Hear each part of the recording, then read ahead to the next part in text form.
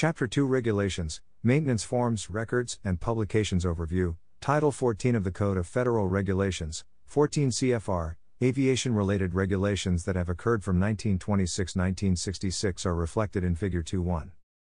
Just as aircraft continue to evolve with ever improving technology, so do the regulations, publications, forms, and records required to design, build, and maintain them. The Federal Aviation Administration, FAA, regulations that govern today's aircraft are found in Title 14 of the Code of Federal Regulations, 14 CFR. Figure 2 to 2, there are five volumes under Title 14 Aeronautics and Space. The first three volumes containing 75 active regulations address the Federal Aviation Administration. The fourth volume deals with the Office of the Secretary of the Department of Transportation, Aviation Proceedings, and Commercial Space Transportation, while the fifth volume addresses the National Aeronautics and Space Administration, NASA, and Air Transportation System Stabilization. These regulations can be separated into the following three categories 1. Administrative 2. Airworthiness Certification 3. Airworthiness Operation since 1958, these rules have typically been referred to as FARs, short for Federal Aviation Regulations. However, another set of regulations, Title 48, is titled Federal Acquisitions Regulations, and this has led to confusion. With the use of the acronym FAR. Therefore, the FAA began to refer to specific regulations by the term 14 CFR Part 20. Most regulations and the sections within are odd numbered, because the FAA realized in 1958 when the Civil Aeronautics Regulations were recodified into the Federal Aviation Regulations that it would be necessary to add regulations later. Over the years, the FAA has sometimes seen the need to issue special Federal Aviation Regulations, SFAR. Figure 2-3, these are frequently focused very specifically on a unique situation and are usually given a limited length of time for effectiveness. Note that the SFAR number is purely a sequential number and has no relevance to the regulation it is addressing or attached to. The remainder of this text focuses only on those regulations relative to airworthiness certification. There are 30 of these listed in Figure 2 to 4, and they are shown graphically in Figure 2 5. A significant benefit of this chart is the visual effect showing the interaction of the regulation with other regulations and the placement of the regulation relative to its impact on airworthiness. It is fundamentally important that, the definition of the term airworthy be clearly understood. Only recently did the FAA actually define the term airworthy in a regulation. Refer to the 14 CFR Part 3 excerpt following this paragraph. Prior to this definition in Part 3, the term could be implied from reading Part 21, Section 21.183. The term was defined in other non regulatory FAA publications, and could also be implied from the text found in Block 5 of FAA Form 8100 2, Standard Airworthiness Certificate. This certificate is required to be visibly placed on board each civil aircraft. Refer to forms presented later in this chapter. Title 14 CFR Part 3 General Requirements Definitions. The following terms have the stated meanings when used in 14 CFR Part 3, Section 3.5 Statements about products, parts, appliances, and materials. Airworthy means the aircraft conforms to its type design and is in a condition for safe operation. Product means an aircraft, aircraft engine, or aircraft propeller. Record means any writing, drawing, map, recording, tape, film, photograph, or other documentary material by which information is preserved or conveyed in any format, including, but not limited to, paper, microfilm, identification plates, stamped marks, bar codes, or electronic format, and can either be separate from, attached to, or inscribed on any product, part, appliance, or material. Airworthiness can be divided into two areas original airworthiness as depicted in Figure 2 to 5, and recurrent airworthiness as depicted in Figure 2 to 6. There are three primary regulations that govern the airworthiness of an aircraft 1. 14 CFR Part 21 Certification Procedures for Products and Parts 2. 14 CFR Part 43 Maintenance, Preventive Maintenance, Rebuilding, and Alterations 3. 14 CFR Part 91, General Operating and Flight Rules note that the chart in figures 2 to 5 and 2 to 6 show most of the other airworthiness certification regulations linked to one of these regulations. Although the history section that opens this chapter discusses the FAA as if it was a single unit, it is important to understand that there are various subgroups within the FAA, and each have different responsibilities of oversight in the aviation industry. These may vary by organizational chart or geographic location. The maintenance technician interacts mostly with FAA personnel from the Flight Standards Service, AFS, and the Flight Standards District Office, FSDO, but may also have some interaction with FAA personnel from the Aircraft Certification Service, AIR. Maintenance related regulations 14 CFR Part 1 definitions and abbreviations This section is a very comprehensive, but certainly not all inclusive, list of definitions that both pilots and mechanics must become familiar with. Many regulations often provide additional definitions that are unique to their use and interpretation in that specific part. Title 14 CFR Part 1, Section 1.2, Abbreviations and Symbols, tends to be highly focused on those abbreviations related to flight. 14 CFR Part 21, Certification Procedures for Products and Parts This regulation, the first of the three, identifies the requirements of and the procedures for obtaining type certificates, TCs, supplemental type certificates, STCs, production certificates, airworthiness certificates, and import and export approvals. Figure 2 to 5 some of the other major areas covered in this part are the procedures for becoming a designated mechanic examiner, DME, designated aircraft maintenance inspector, DAMI, designated engineering representative, designated manufacturing inspection representative, DMIR, or designated airworthiness representative, DAR, or obtaining a part manufacturer approval, PMA, or an authorization related to producing a technical standard order, TSO part. Note that Part 21's greatest significance is in the original airworthiness phase, although it has minor application in recurrent airworthiness. Figure 2 to 5, one of the most important sections of this regulation is Section 21.50, Instructions for Continued Airworthiness and Manufacturer's Maintenance Manuals having airworthiness limitations sections. When an aircraft is delivered new from the manufacturer, it comes with maintenance manuals that define the inspection and maintenance actions necessary to maintain the aircraft in airworthy condition. Also, any STC. Modification that was developed after 1981 must have, as part of the STC documentation, a complete set of instructions for continued airworthiness, ICA. This ICA contains inspection and maintenance information intended to be used by the technician in maintaining that part of the aircraft that has been altered since it was new. This ICA is comprised of 16 specific subjects. Figure 27 an ICA developed in accordance with this checklist should be acceptable to the Aviation Safety Inspector, ASI, reviewing a major alteration. 14 CFR Part 23, Airworthiness Standards, Normal, Utility, Acrobatic, and Commuter Category airplanes aircraft certificated under 14 CFR Part 23 represent the greatest portion of what the industry refers to as general aviation. These aircraft vary from the small two place piston engine, propeller driven trainers that are frequently used for flight training, to turbine powered corporate jets used to transport business executives.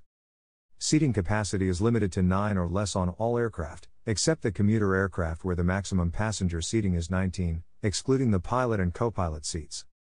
This part specifies the airworthiness standards that must be met in order for a manufacturer to receive a TC and for the aircraft to receive an airworthiness certificate.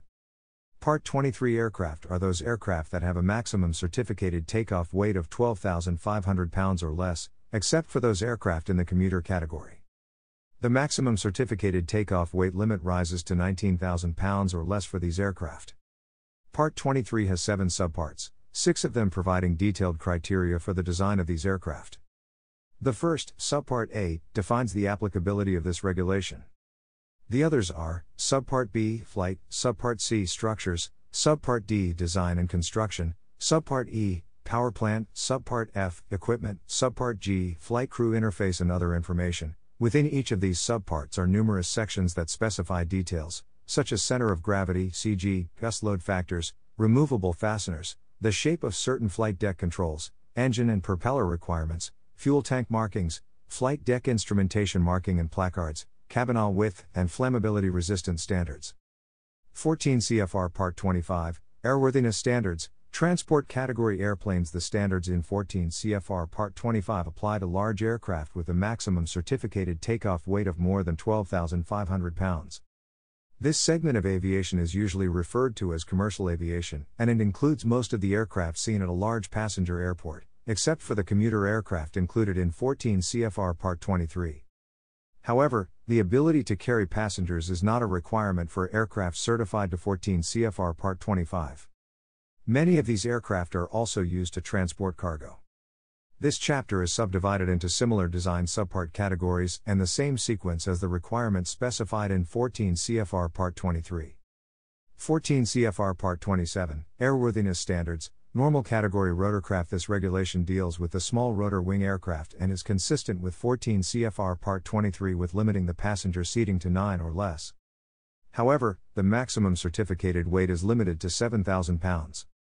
It contains similar design subparts identified in 14 CFR Part 23 that provide the details for designing the aircraft.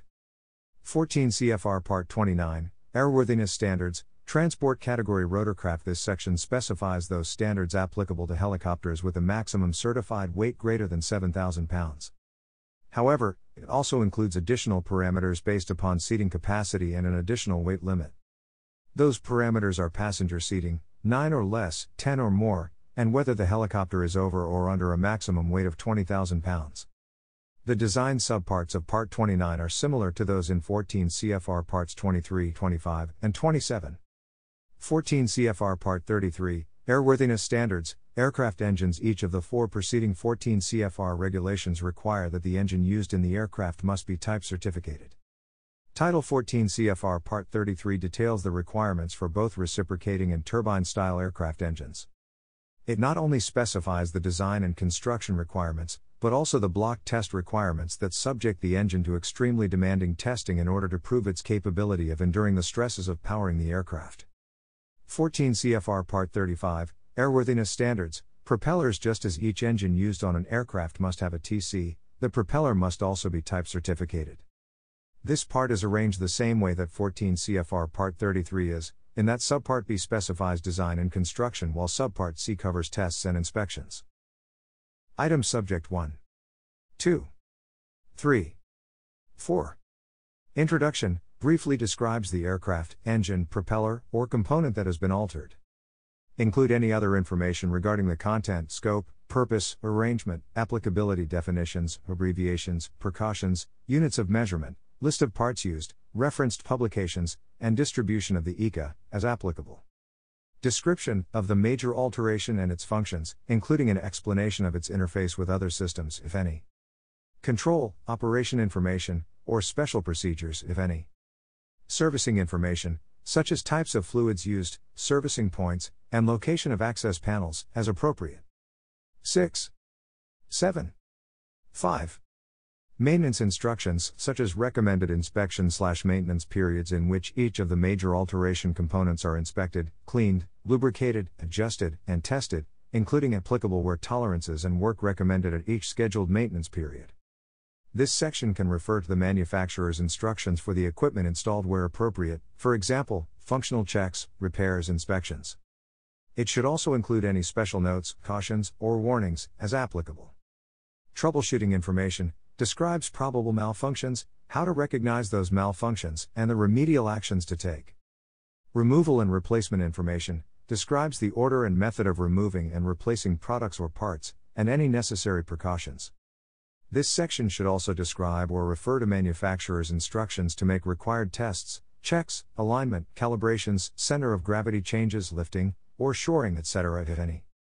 Diagrams of access plates and information, if needed, to gain access for inspection. Special inspection requirements, such as X ray, ultrasonic testing, or magnetic particle 8. 9. Inspection, if required. 10. Application of protective treatments, to the affected area after inspection and or maintenance if any. 11. Data relative to structural fasteners such as type, torque, and installation requirements if any. 12. List of special tools, special tools that are required, if any. 13. For commuter category aircraft, provide the following additional information, as applicable A. Electrical loads B. Methods of balancing flight controls See identification of primary and secondary structures D Special repair methods applicable to the aircraft 14.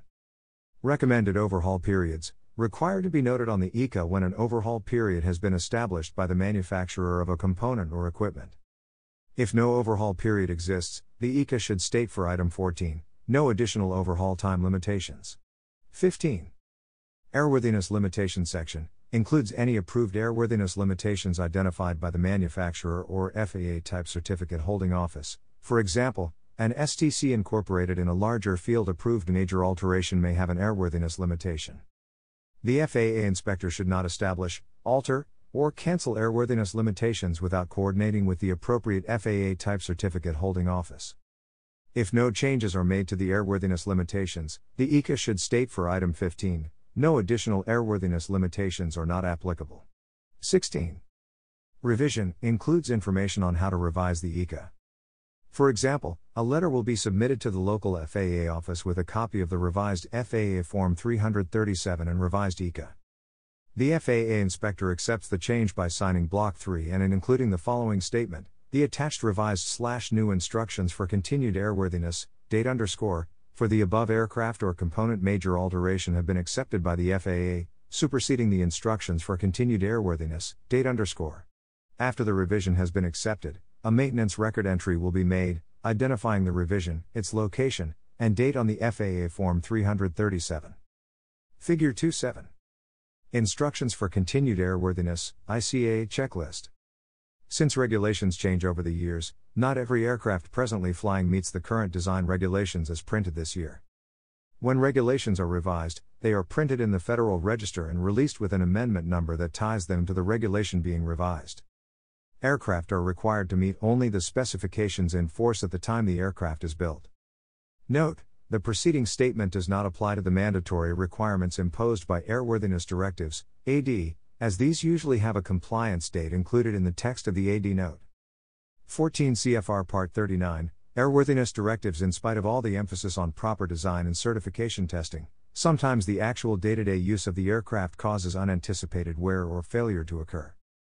When that happens, if the FAA determines that the wear or failure represents an unsafe condition and that the condition is likely to exist in other products of the same type of design, it issues an AD.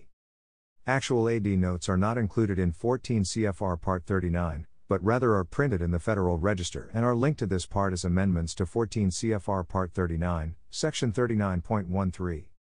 AD notes are legally enforceable rules that apply to aircraft, aircraft engines, propellers, and appliances.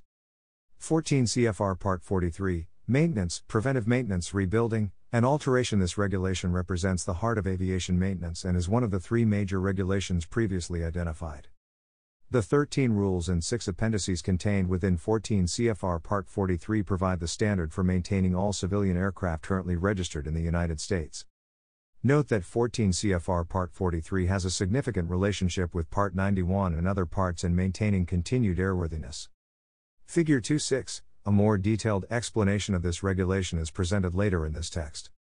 14 CFR Part 45, Identification and Registration Marking Title 14 of the CFR Part 45 includes the requirements for the identification of aircraft, engines, propellers, certain replacement and modification parts, and the nationality and registration marking required on U.S. registered aircraft. All type certificated products must have the following information on a fireproof data plate or similar approved fireproof method. 1. Builder's name 2. Model designation 3. Builder's serial number 4. TC number, if any, 5. Production certificate number, if any, 6. For aircraft engines, the established rating 7. Reference to compliance or exemption to 14 CFR Part 34, fuel venting and exhaust emission requirements for turbine engine powered airplanes 8.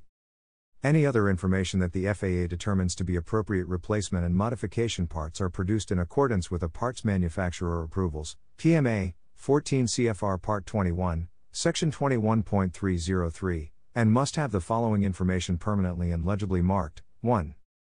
The letters FAA PMA 2. The name, symbol, or trademark of the holder of the PMA 3. The part number 4. The name and model designation for each type certificated product it can be installed on if a part has a specified replacement time, inspection interval, or other related procedure specification in the maintenance manual or ICA. That part must have a part number and a serial number, or the equivalent of each. The manufacturer of a life limited part must either provide marking instructions for that part, or state that the part cannot be marked without a compromise to its integrity. Exceptions are made for the identification of parts that are too small to be practical to mark the required data. Nationality and registration marks, commonly known as the N number for U.S. registered aircraft, can vary in size, depending on the year that the aircraft was built and whether or not the aircraft has been repainted.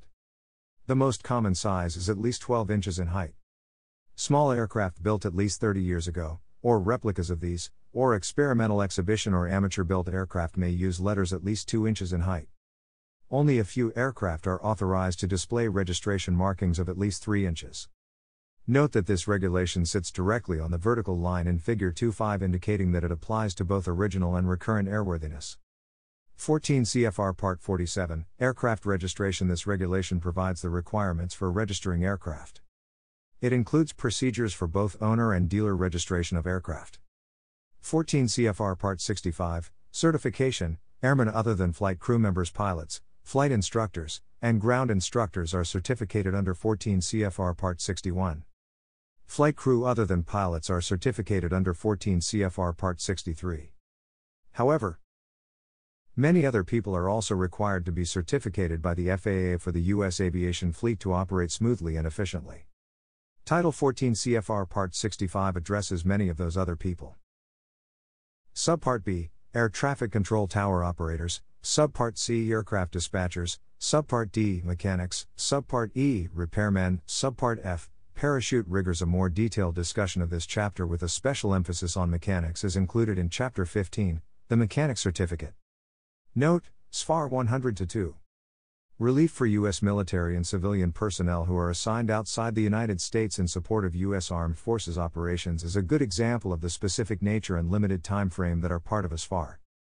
14 CFR Part 91 General Operating and Flight Rules This is the final regulation of the three major regulations identified earlier in this chapter. Note its interaction in Figure 2 to 6 with other regulations visually indicating its operational involvement or recurrent airworthiness.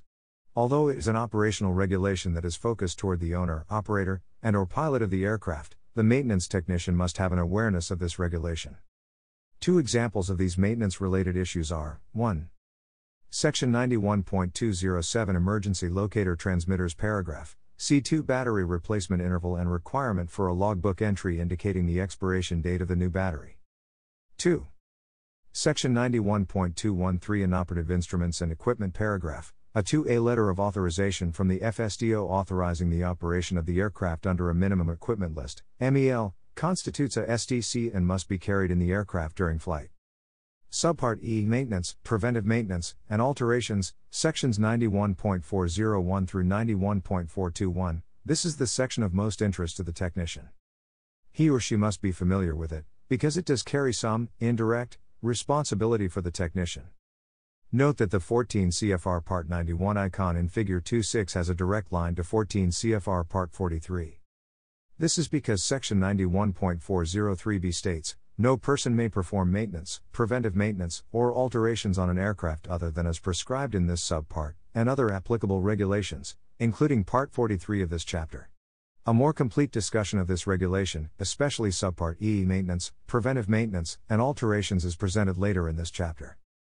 14 CFR Part 119 Certification, Air Carriers and Commercial Operators In order to better understand the next three regulations discussed here, 14 CFR Parts 121, 125, and 135, a brief overview of 14 CFR Part 119 is beneficial.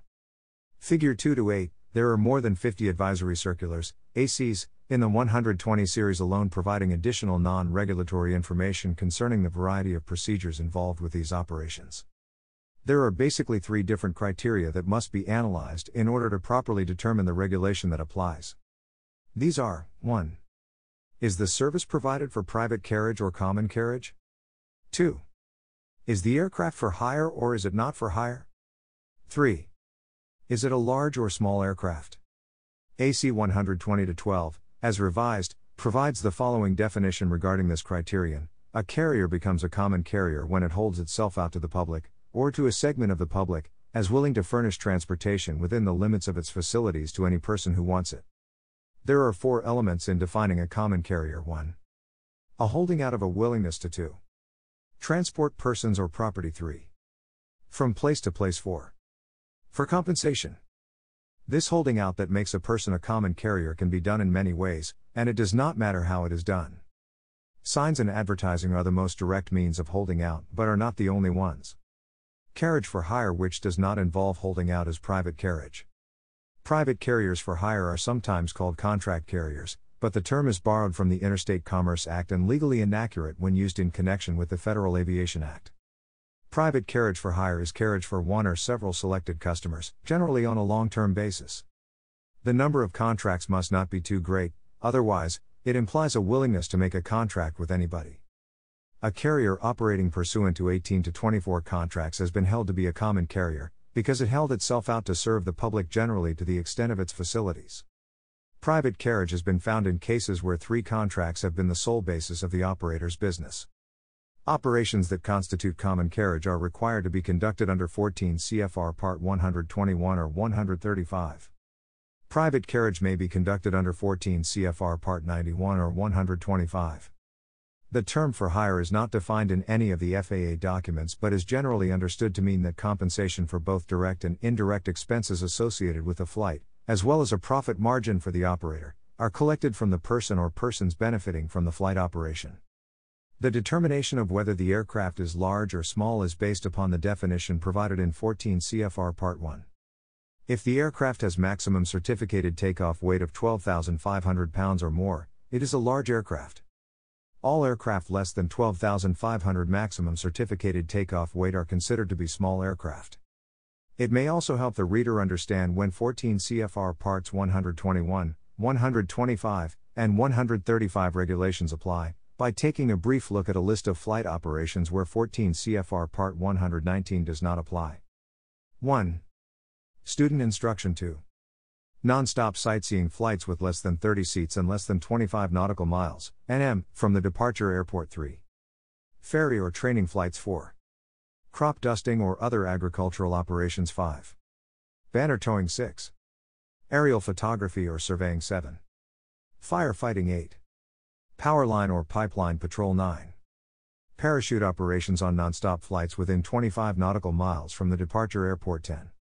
Fractional ownership in accordance with 14 CFR Part 91, Subpart K 14 CFR Part 121, Operating Requirements, Domestic, Flag, and Supplemental Operations Title 14 CFR Part 121 establishes the operational rules for air carriers flying for compensation or hire. A domestic operation is any scheduled operation, within the 48 contiguous states, the District of Columbia, or any territory or possession, conducted with either a turbojet aircraft, an airplane having 10 or more passenger seats, or a payload capacity greater than 7,500 pounds. A flag operation means any scheduled operation, operating in Alaska or Hawaii to any point outside of those states, or to any territory or possession of the United States, or from any point outside the United States to any point outside the United States, conducted with either a turbojet aircraft, an airplane having 10 or more passenger seats, or a payload capacity greater than 7,500 pounds. Supplemental operation means any common carriage operation conducted with airplanes having more than 30 passenger seats. If less than 30, the airplane must also be listed on the operation specifications of domestic and flag carriers, with a payload capacity of more than 7,500 pounds. Part 121 operators are required by 14 CFR Part 119 to have the following personnel Director of Safety, Director of Operations, Director of Maintenance, Chief Pilot, Chief Inspector. There are 28 subparts and 16 appendices in this regulation. However, only subparts J and L are of concern for the mechanic. Subpart J, Maintenance, Preventive Maintenance, and Alterations, identifies special airworthiness requirements that deals with many of the mechanical aspects of a passenger or cargo aircraft. Subpart L, Maintenance, Preventive Maintenance, and Alterations, requires that a Part 121 operator have an operational manual that contains the following information Organizational chart, list of individuals who MA perform required inspections. Company maintenance, preventive maintenance, or alterations, a system to both preserve and retrieve maintenance and inspection related information also. 14 CFR Part 121, Section 121.1105, establishes the requirement for conducting inspections on aging aircraft.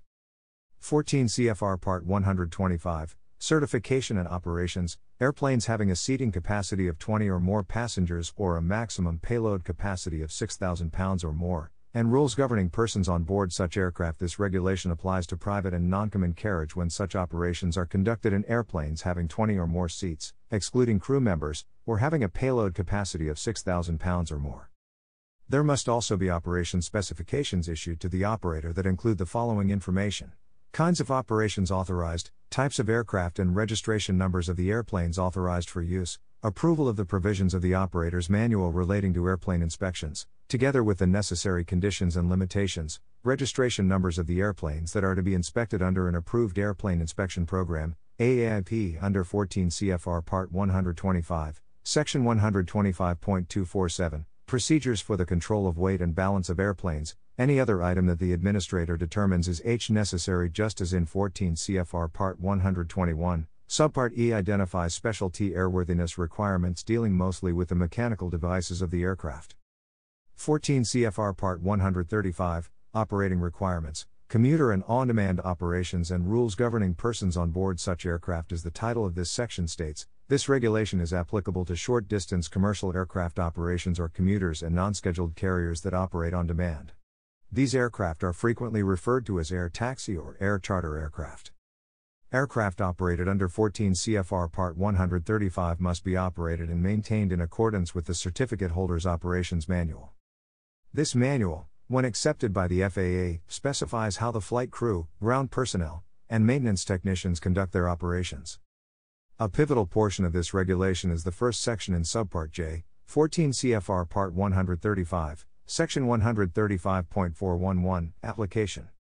This section specifies that having a type certificated passenger seating configuration of 9 or less may be maintained in accordance with the maintenance manual provided by the aircraft manufacturer. Those aircraft having a type certificated passenger seating configuration of 10 or more seats must be maintained in accordance with a maintenance manual written by the air carrier and must then be submitted to the FAA for approval. The requirements for the maintenance manual are specified in 14 CFR Part 135, Section 135.427.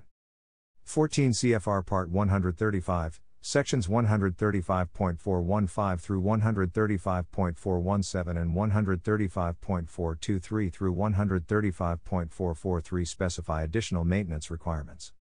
14 CFR Part 135, Sections 135.415 and 135.417 are applicable regardless of the number of seats in the aircraft.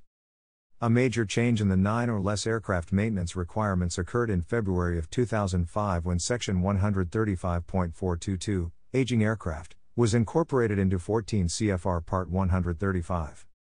This new subpart, note the even number, to 14 CFR 135 specifically prohibits a certificate holder from operating certain aircraft unless the administrator has completed the aging aircraft inspection and records review. This inspection requires the certificate holder to show the FAA that the maintenance of age sensitive parts and components has been adequate to ensure safety. This section only applies to multi engine aircraft in scheduled operation with 9 or fewer passenger seats. It does not apply to aircraft operating in Alaska. The required record of use start date varies depending on the age of the aircraft. RE, however, once initiated, the repetitive inspection intervals E not to exceed 7 years. Our HE certificate holder must make both the aircraft and the records available to the FAA for inspection and review. The certificate holder must notify the administrator at least 60 days in advance of the availability of the aircraft and the records for review. The records must include the following information 1. Total years in service of the airplane 2. Total time in service of the airframe 3. Date of the last inspection and records review required by this section 4. Current status of life limited parts 5.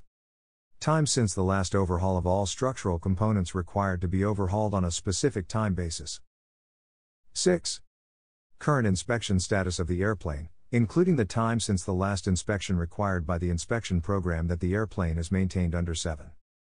Current status of applicable ADs, including the date and methods of compliance, and, if the AD involves recurring action, the time and date when the next action is required. 8. A list of major structural alterations 9. A report of major structural repairs and the current inspection status of those repairs 14 CFR Part 145. Repair stations This regulation underwent a major rewrite released in 2004 and was the most comprehensive change in nearly 20 years. It may be of interest to note an airframe and power plant A&P certificate is not necessary to be employed at a repair station. The repair station may also employ both repairmen under 14 CFR Part 65 Subpart E and non FAA certificated personnel. All work that is signed off is done so using the repair station certificate number and must be done only by persons authorized by 14 CFR Part 65 to approve an article for return to service, RTS. Just as other certificate holders must have an operations manual, the repair station must have a repair station manual that contains the following an organizational chart, procedures for maintaining rosters, description of housing, facilities, and equipment, procedures for revising the capability list and conducting a self evaluation, audit, procedures for revising the training program, procedures governing work done at another location, procedures for working on air carrier aircraft, description of the required records and record keeping, procedures for revising the repair station manual, description of the system to identify and control the sections of the manual. All records from repair station maintenance activity must be kept a minimum of two years. Domestic repair station certificates are effective until they are surrendered, suspended, or revoked. The certificates of foreign repair stations expire, usually after one or two years, and must be renewed. 14 CFR Part 147, Aviation Maintenance Technician Schools Title 14 CFR Part 147 defines the requirements for obtaining a maintenance training certificate. This certificate may be for either airframe, power plant, or a combination of the two. The minimum number of curriculum hours for conducting either airframe or power plant training independently is 1,150. If both A and P ratings are offered, the combined total curriculum hours are 1,900. This is because of the 1,150 hours specified to obtain either the airframe or the power plant rating, 400 hours are devoted to general studies. Only one set of general studies hours is applicable to the combined total. Therefore, 400 hours can be subtracted from the implied total of 2,300 hours, 1,150 times 2, to obtain the reduced figure of 1,900 hours. Requirements are detailed as follows. Appendix A Curriculum Requirements, Appendix B General Curriculum Subjects, Appendix C Airframe Curricular Subjects, Appendix D Powerplant Curriculum Subjects 14 CFR Part 183 Representatives of the Administrator as the aviation industry grows and the design, manufacture, and testing of aircraft gets more complex, the FAA faces both budget constraints and personnel shortages. As early as 1962, the FAA began a program to allow private sector persons in various areas of industry to be designees or representatives of the FAA administrator. These people are not FAA employees, but rather are designated by the FAA to act on their behalf. Regular doctors may serve as aviation medical examiners, skilled pilots can become pilot examiners, and experienced airframe and or power plant mechanics can become designated mechanic examiners, DME, to administer the oral and practical portion of the FAA testing. Other lesser known designees are the Designated Engineering Representatives, DER, the Designated Manufacturing Inspection Representatives, DMIR, and the Designated Airworthiness Representatives, DAR. DERs approve data based upon their engineering training and their knowledge of FAA regulations. MERS make conformity inspections only at their employer. They are similar to designated repairmen because they are only authorized to inspect parts at their employer's facility. DARS conduct aircraft certification and aircraft inspection functions on behalf of the FAA depending on specific functions they are authorized. They may perform work for either manufacturing facilities or maintenance entities depending on their designation. Explanation of Primary Regulations, Parts 43 and 91, 14 CFR Part 43, Maintenance, Preventative Maintenance Rebuilding, and Alteration Section 43.1 Applicability Paragraph A states quite clearly that aircraft, whether U.S., or foreign registered operating under 14 CFR Part 121 or 135, and component parts thereof must be maintained in accordance with the rules set forth in this part. Although paragraph B states quite clearly the type of aircraft that this part does not apply to, it seems to have led to considerable confusion within the aviation industry. If an aircraft is flying with a Special Airworthiness, Experimental Certificate, FAA Form 8130 7, Special Airworthiness Certificate, Pink Color Certificate, and that it's the only airworthiness certificate this aircraft has ever had, then 14 CFR Part 43 does not apply. Conversely, sometimes during maintenance, especially STC modification, the STC is addressed later in this chapter. It becomes necessary to temporarily place the aircraft into special airworthiness, experimental.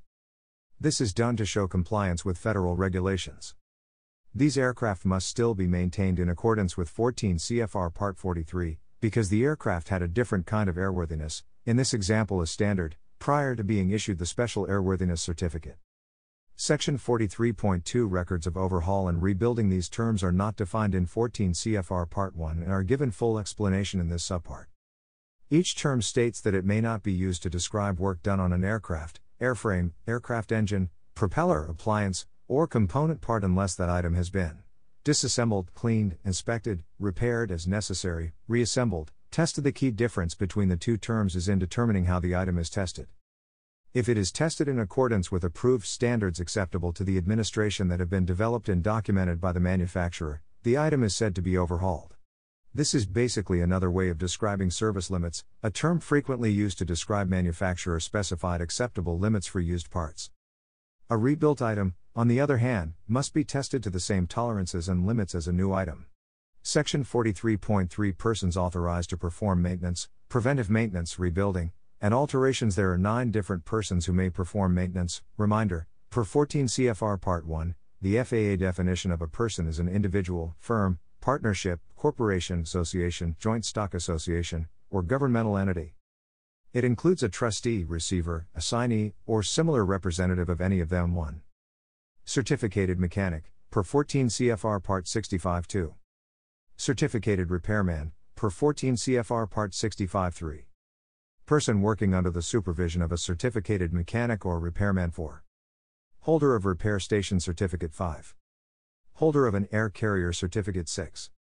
Except for holders of a Sport Pilot Certificate, the holder of a pilot certificate issued under Part 61 may perform preventive maintenance on any aircraft owned or operated by that pilot which is not used under 14 CFR Part 121, 129, or 135.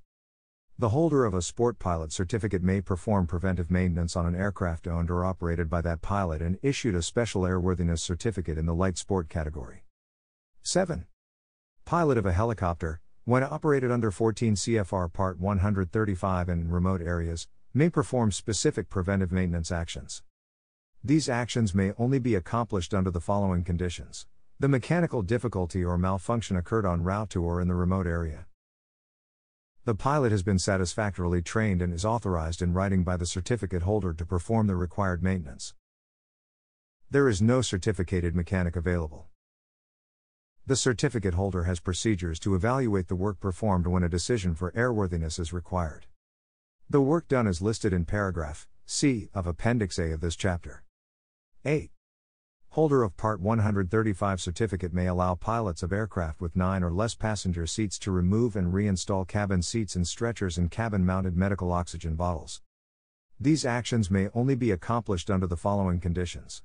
The pilot has been satisfactorily trained and is authorized in writing by the certificate holder to perform the required maintenance. The certificate holder has written procedures available to the pilot to evaluate the work performed. 9. Manufacturer may inspect and rebuild any item it has manufactured. Section 43.5 Approval for return to service after maintenance, preventive maintenance, rebuilding, and alterations approving an aircraft component for return to service after maintenance, Preventive maintenance, rebuilding, or alteration must be done by creating an appropriate maintenance record entry as required by either 14 CFR Part 43, Section 43.9 or 43.11. This may include the use of FAA Form 337, major repair and alteration, if the maintenance action was a major repair or a major alteration. Whenever a maintenance action is being planned, it is critical that the technician understands exactly 1. What he or she is going to do. 2. How that work is classified by the FAA. 3. What type of documentation is required to support this activity? First, consider whether this a repair or an alteration. This should be a relatively simple decision since a repair basically returns the aircraft to its previous or unaltered condition, i.e., replacing magnetos, an exhaust system, tires, or brakes. Even replacing an entire engine, although it is a big job, is still a repair if it is the one properly specified for that aircraft. An alteration, on the other hand, always changes or modifies the aircraft from its previous state, i.e., installing winglets, new avionics, or an engine that is not listed in the aircraft TCDS. The second question to consider is whether or not the work that to be performed constitutes a major or a minor maintenance action. A major action is typically one that might appreciably affect weight, balance, structural strength, performance, power plant operation, flight characteristics, or other qualities affecting airworthiness and that are not done according to accepted practices or cannot be done by elementary operations. This is a much more complex question, but it is extremely important as it drives the final question concerning the substantiating documentation. Please refer to 14 CFR Part 1 and Part 43, Appendix A, for additional clarification and examples. The third question deals with the type of documentation required to substantiate the work performed. Minor repairs and alterations need only to refer to acceptable data, such as manufacturer's maintenance manuals or AC 43.13 1. The maintenance action can simply be recorded in the maintenance record as a logbook entry. Major repairs and alterations require approved data. Some examples of approved data are AD notes, STCs, TCDS, DER specific delegations, and FAA approved manufacturer service bulletins SB. Sometimes the repair or alteration being performed does not have previously approved data. In that case, the technician may request that the FAA accomplish a field approval. In this procedure, the technician completes the front side of Form 337 through Block 6, leaving Block 3 open for later FAA approval, and then indicates in Block 8 on the back what work is to be done and what the substantiating reference data is. Form 337 is then submitted to the local FAA FSDO office for review and approval by an ASI. If necessary, this ASI may seek input from other ASIs or FAA specialists to assist in the review of the data. If the data is found to comply with FAA regulations, the ASI enters one of the following statements in Block 3, depending on whether the ASI has performed a review of the data only or has physically inspected the aircraft. The technical data identified herein has been found to comply with applicable airworthiness requirements, and is hereby approved for use only on the above described aircraft, subject to conformity inspection by a person authorized in 14 CFR Part 43, Section 43.7. Or the alteration or repair identified herein complies with the applicable airworthiness requirements, and is approved for use only on the above described aircraft, subject to conformity inspection by a person authorized in 14 CFR Part 43, Section 43.7. Section 43.7 Persons authorized to approve aircraft, airframes, aircraft engines, propellers, appliances, or component parts for return to service after maintenance, preventive maintenance, rebuilding, or alteration. There are seven different persons listed in this section who may sign RTS documentation. 1. Certificated mechanic or holder of an inspection authorization, IA. 2. Holder of a repair station certificate 3. Manufacturer 4. Holder of an Air Carrier Certificate 5. Certificated Private Pilot 6. Repairman certificated with a maintenance rating for light sport aircraft, LSA only. 7. Certificated sport pilot for preventive maintenance on an aircraft owned and or operated by him or her note that although a certificated repairman is authorized to work on a product undergoing maintenance, preventive maintenance, rebuilding, or alterations, refer to 14 CFR Part 43, Section 43.3, he or she is not authorized to approve that product for RTS. He or she must make the appropriate maintenance record entry per the requirements of 14 CFR Part 43, Section 43.9 or 43.11. Section 43.9 Content, Form and Disposition of Maintenance, Preventive Maintenance, Rebuilding, and Alteration Records, except inspection performed in accordance with Parts 91 and 125, and Sections 135.411a, 1, and 135.419 of this chapter. The first observation is that this section specifically excludes inspection entries, those are covered in 14 CFR Part 43, Section 43.11. This section deals exclusively with maintenance record entries. The next observation is that the list of maintenance actions includes preventive maintenance. As stated in the explanation of 14 CFR Part 43, Section 43.3, a certificated pilot is authorized to perform preventive maintenance on the aircraft he or she owns or operates. Therefore, remember that the pilot must make a record entry of the preventive maintenance he or she has accomplished. There are three distinct issues to be addressed in the maintenance entry, and they answer the questions of what, when, and who. What, a description of the work performed, when, the date the work was completed, who, the name of the person who did the work if other than the person who approves the RTS, the signature, certificate number, and type of certificate of the person who is approving the work for RTS note. Frequently, logbooks have a statement entered that ends something like this, and is hereby returned to service. Joe Fixer A and P certificate number 123456789. As this section of the regulation currently reads, that part of the record entry is not required. Title 14 of the CFR Part 43, Section 43.9 clearly states that the signature constitutes the approval for return to service only for the work performed. Furthermore, the technician is only signing off the work he or she has done. Later, 14 CFR Part 43, Section 43.11 explains that an inspection write up usually carries a broader scope of responsibility. This section is very clear that the entry completed in accordance with this section only holds the technician responsible for the service maintenance action he or she entered. If the maintenance accomplished was a major repair or alteration, the work must be documented on FAA Form 337 and requires supporting approved data.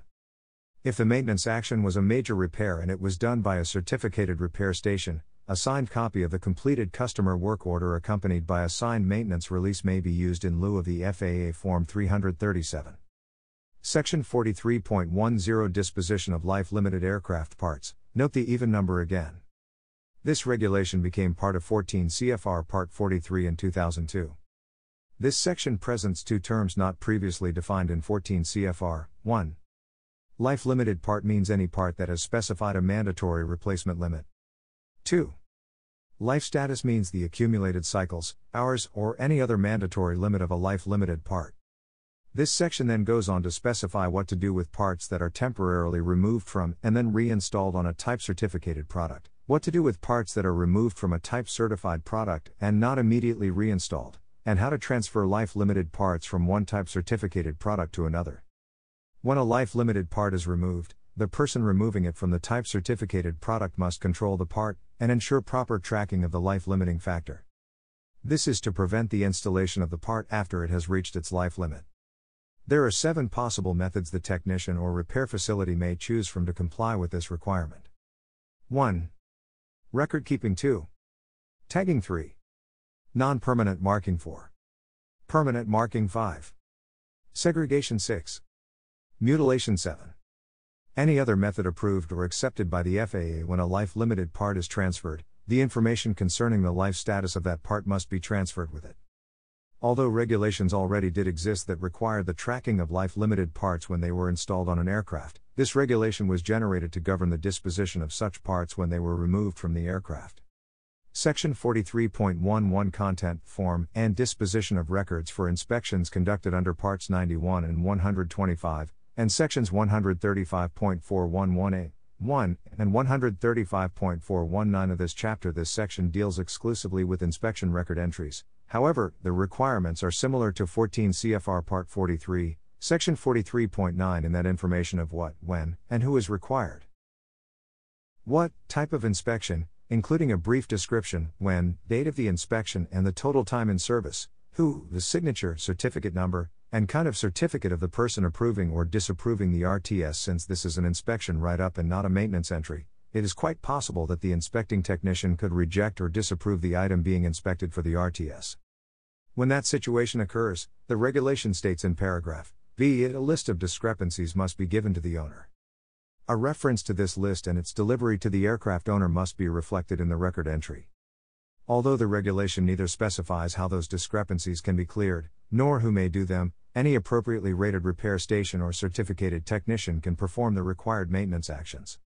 When they are completed and the proper maintenance record entries are generated in accordance with 14 CFR Part 43, Section 43.9, the aircraft is approved for RTS. It is neither necessary to have an additional inspection, nor is it necessary to contact the disapproving inspector. If the aircraft is on a progressive inspection program, the inspection statement changes slightly from the statement referenced earlier by adding the reference to both a routine inspection and a detailed inspection.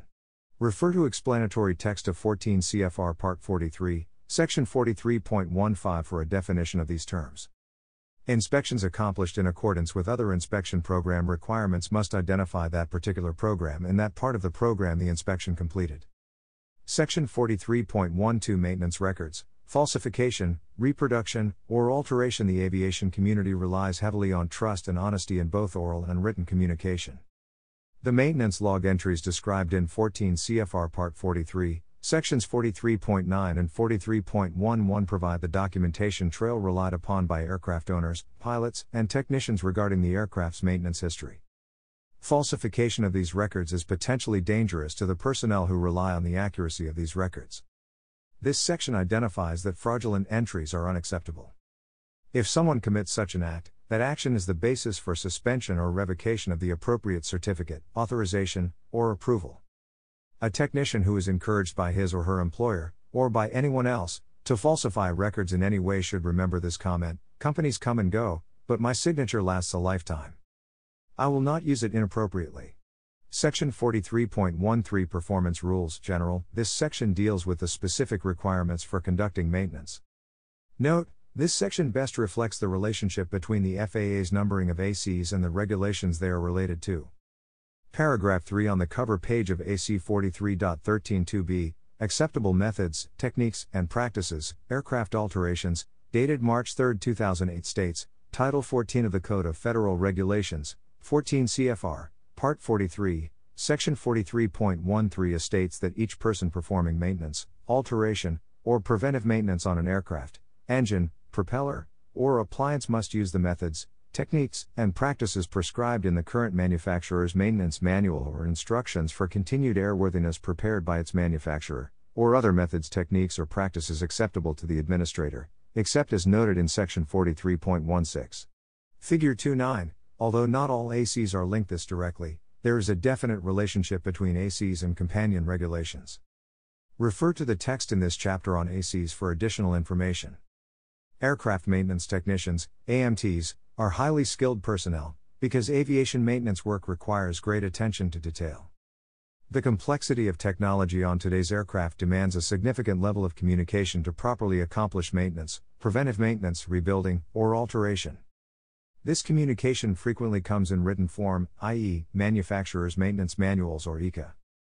If neither of these documents provide the guidance the technician needs to perform maintenance, either AC 43.13, AC 43.13 to 1 or AC 43.13 to 2 contain examples of other methods, techniques, or practices acceptable to the administrator that may be sufficient.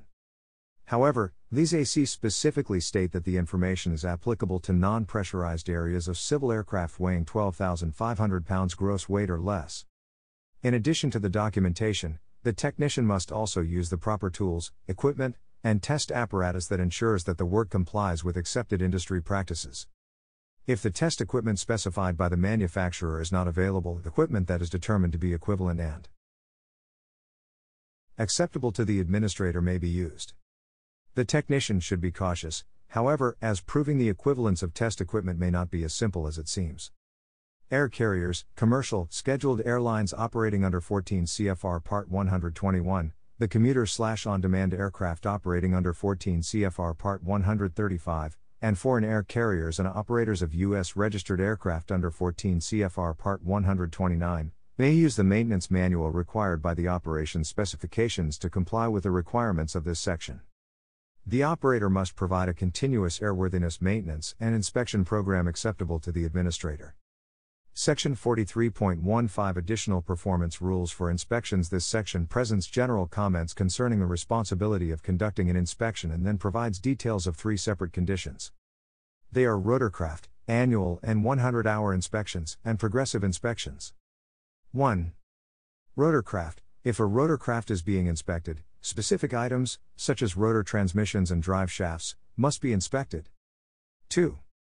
Annual and 100 hour inspections. When performing an annual or 100 hour inspection, a checklist must be used. This checklist may be a personal one or one from the manufacturer. Either way, it must include the scope and detail of the inspection in Appendix D. Specific engine performance is also required to be tested, or monitored, as part of RTS for an annual or 100 hour inspection. This applies whether the aircraft is reciprocating or turbine powered. 3. Progressive inspection If a progressive inspection is being conducted, it must be preceded by a complete aircraft inspection. Note, a progressive inspection is the result of breaking down the large task of conducting a major inspection into smaller tasks that can be accomplished periodically without taking the aircraft out of service for an extended period of time. Two new definitions are also presented routine and detailed. A routine inspection is a visual examination, or check of the item, but no disassembly is required. A detailed inspection is a thorough examination of the item, including disassembly. The overhaul of a component is considered to be a detailed inspection. If the aircraft is away from the station where inspections are normally conducted, an appropriately rated mechanic, a certificated repair station, or the manufacturer of the aircraft may perform inspections in accordance with the procedures and using the forms of the person who would otherwise perform the inspection. Section 43.16 Airworthiness Limitations The technician performing inspection or maintenance actions on an aircraft must be certain he or she has all appropriate data available. Each person performing an inspection or other maintenance specified in an airworthiness limitations section of a manufacturer's maintenance manual or instructions for continued airworthiness shall perform the inspection or other maintenance in accordance with that section, or in accordance with operations specifications approved by the administrator under Part 121 or 135 or an inspection program approved under 14 CFR Part 91, Section 91.409e. ICAs, as required by 14 CFR Part 21, Section 21.50, must also be consulted when available. Since 1998, the FAA has required ICAs to be generated for all major alterations that are accomplished by the field approval process. This section specifies that the technician is responsible to perform inspections or maintenance specified in an airworthiness limitation in accordance with all the preceding instructions. Section 43.17 Maintenance, preventive maintenance, or alterations performed on U.S. aeronautical products by certain Canadian persons. This section was significantly revised in 2005 as the result of a bilateral aviation safety agreement, BASA, between the United States and Canada. This section of 14 CFR Part 43 defines some terms and gives specific limitations as to what an aircraft maintenance engineer, AME is the Canadian equivalent to the US A&P, may do to maintain US registered aircraft located in Canada. It also provides similar limitations for an approved maintenance organization. AMO is the Canadian equivalent to the US certified repair stations. Appendix A Major alterations, major repairs, and preventive maintenance. This appendix provides a comprehensive, but not exclusive, list of subjects. For instance, paragraph A is titled Major Alteration, and is further subdivided as follows Airframe powerplant propeller, appliance. This same subdivision is used in paragraph B Major repairs. Paragraph C Preventive maintenance identifies those maintenance actions that are defined as preventive maintenance, provided the maintenance does not involve complex assembly operations.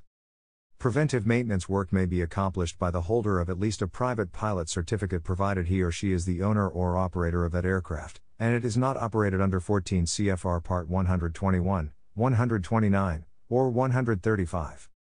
Appendix B Recording of major repairs and major alterations in most cases when a major repair or alteration is accomplished, FAA Form 337, major repair or alteration, is completed at least in duplicate with the original going to the aircraft owner and a copy sent to the FAA Aircraft Registration Branch in Oklahoma City where all civil aircraft information is compiled and retained. Note, historically, the second copy was sent to the local FAA FSDO within 48 hours after RTS. This copy is reviewed by an ASI and then forwarded by the FSDO to FAA records in Oklahoma City.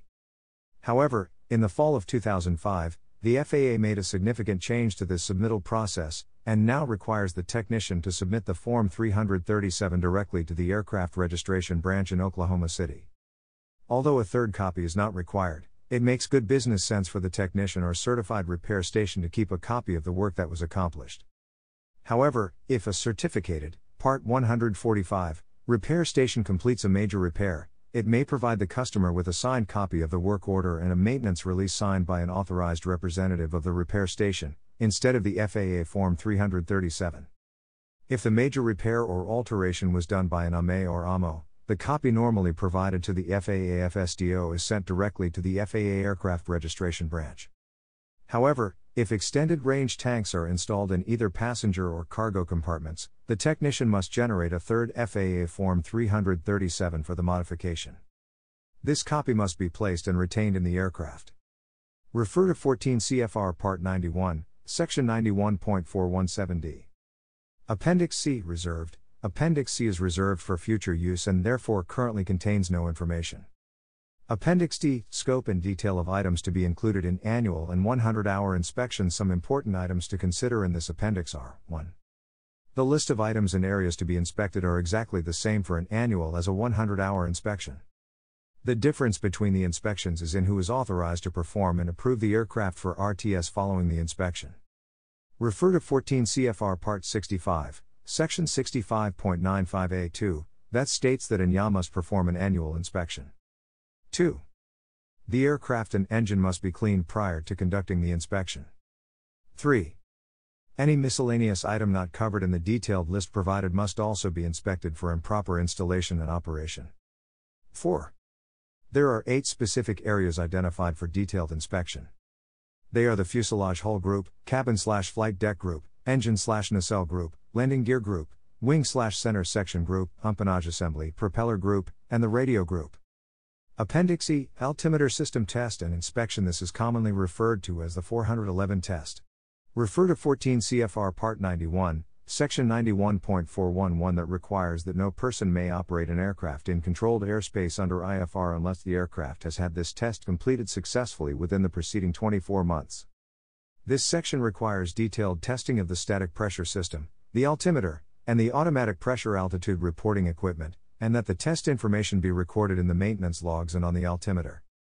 Appendix F ATC transponder tests and inspections. This is commonly referred to as the 413 test. Refer to 14 CFR Part 91, Section 91.413, which requires that no person may use a transponder unless it has had this test completed successfully within the preceding 24 months. This section specifies complex sets of tests, which may be accomplished either as a bench test or by using portable test equipment. Major categories of the testing required are radio reply frequency, suppression, receiver sensitivity, radio frequency peak output power, and mode S, when applicable. Upon completion of testing, proper entries must be made in the maintenance record. 14 CFR Part 91, General Operating and Flight Rules Subpart A, General is mentioned in the brief overview of the regulation portion earlier in this chapter, this part is actually addressing the operation of the aircraft. For example, 14 CFR Part 91, Section 91.7 states no person may operate a civil aircraft unless it is in an airworthy condition.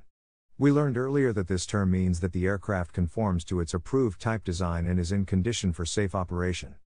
When the pilot performs a pre flight inspection, he or she is making a determination concerning the condition for safe operation. The pilot does not usually determine conformity to type design unless he or she performs a review of the maintenance records. However, since that is fundamental to the definition of airworthy, it is still part of their responsibility. Therefore, a professional and ethical technician wants to help the customer understand his or her responsibilities in maintaining and documenting the airworthiness of the aircraft.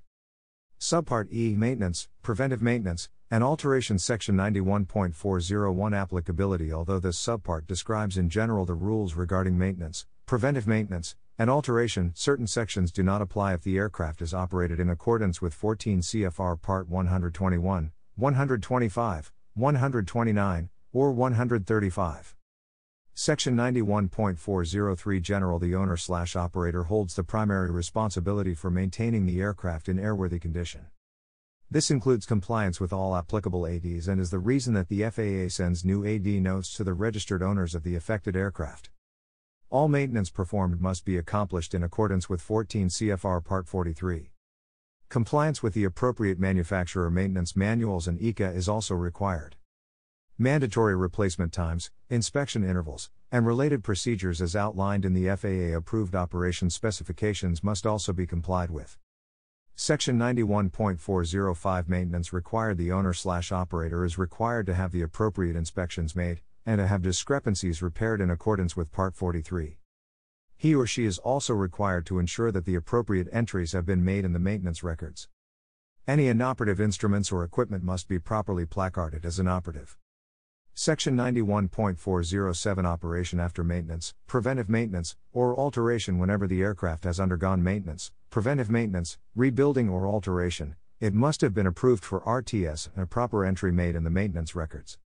If the maintenance that was done could have appreciably changed the flight characteristics, an appropriately rated pilot must perform an operational flight check of the aircraft and must make an entry of the flight in the maintenance records. If ground testing and inspection can show conclusively that the maintenance has not adversely affected the flight characteristics, no flight test is required. Section 91.409 Inspections This paragraph identifies various types of inspection applicable to the civilian aircraft fleet. Paragraph a defines the requirement for an annual inspection.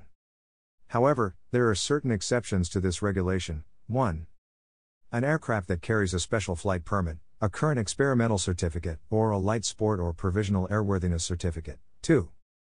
An aircraft inspected in accordance with an approved aircraft inspection program under Part 125 or 135 of this chapter and so identified by the registration number in the operation specifications of the certificate holder having the approved inspection program. 3.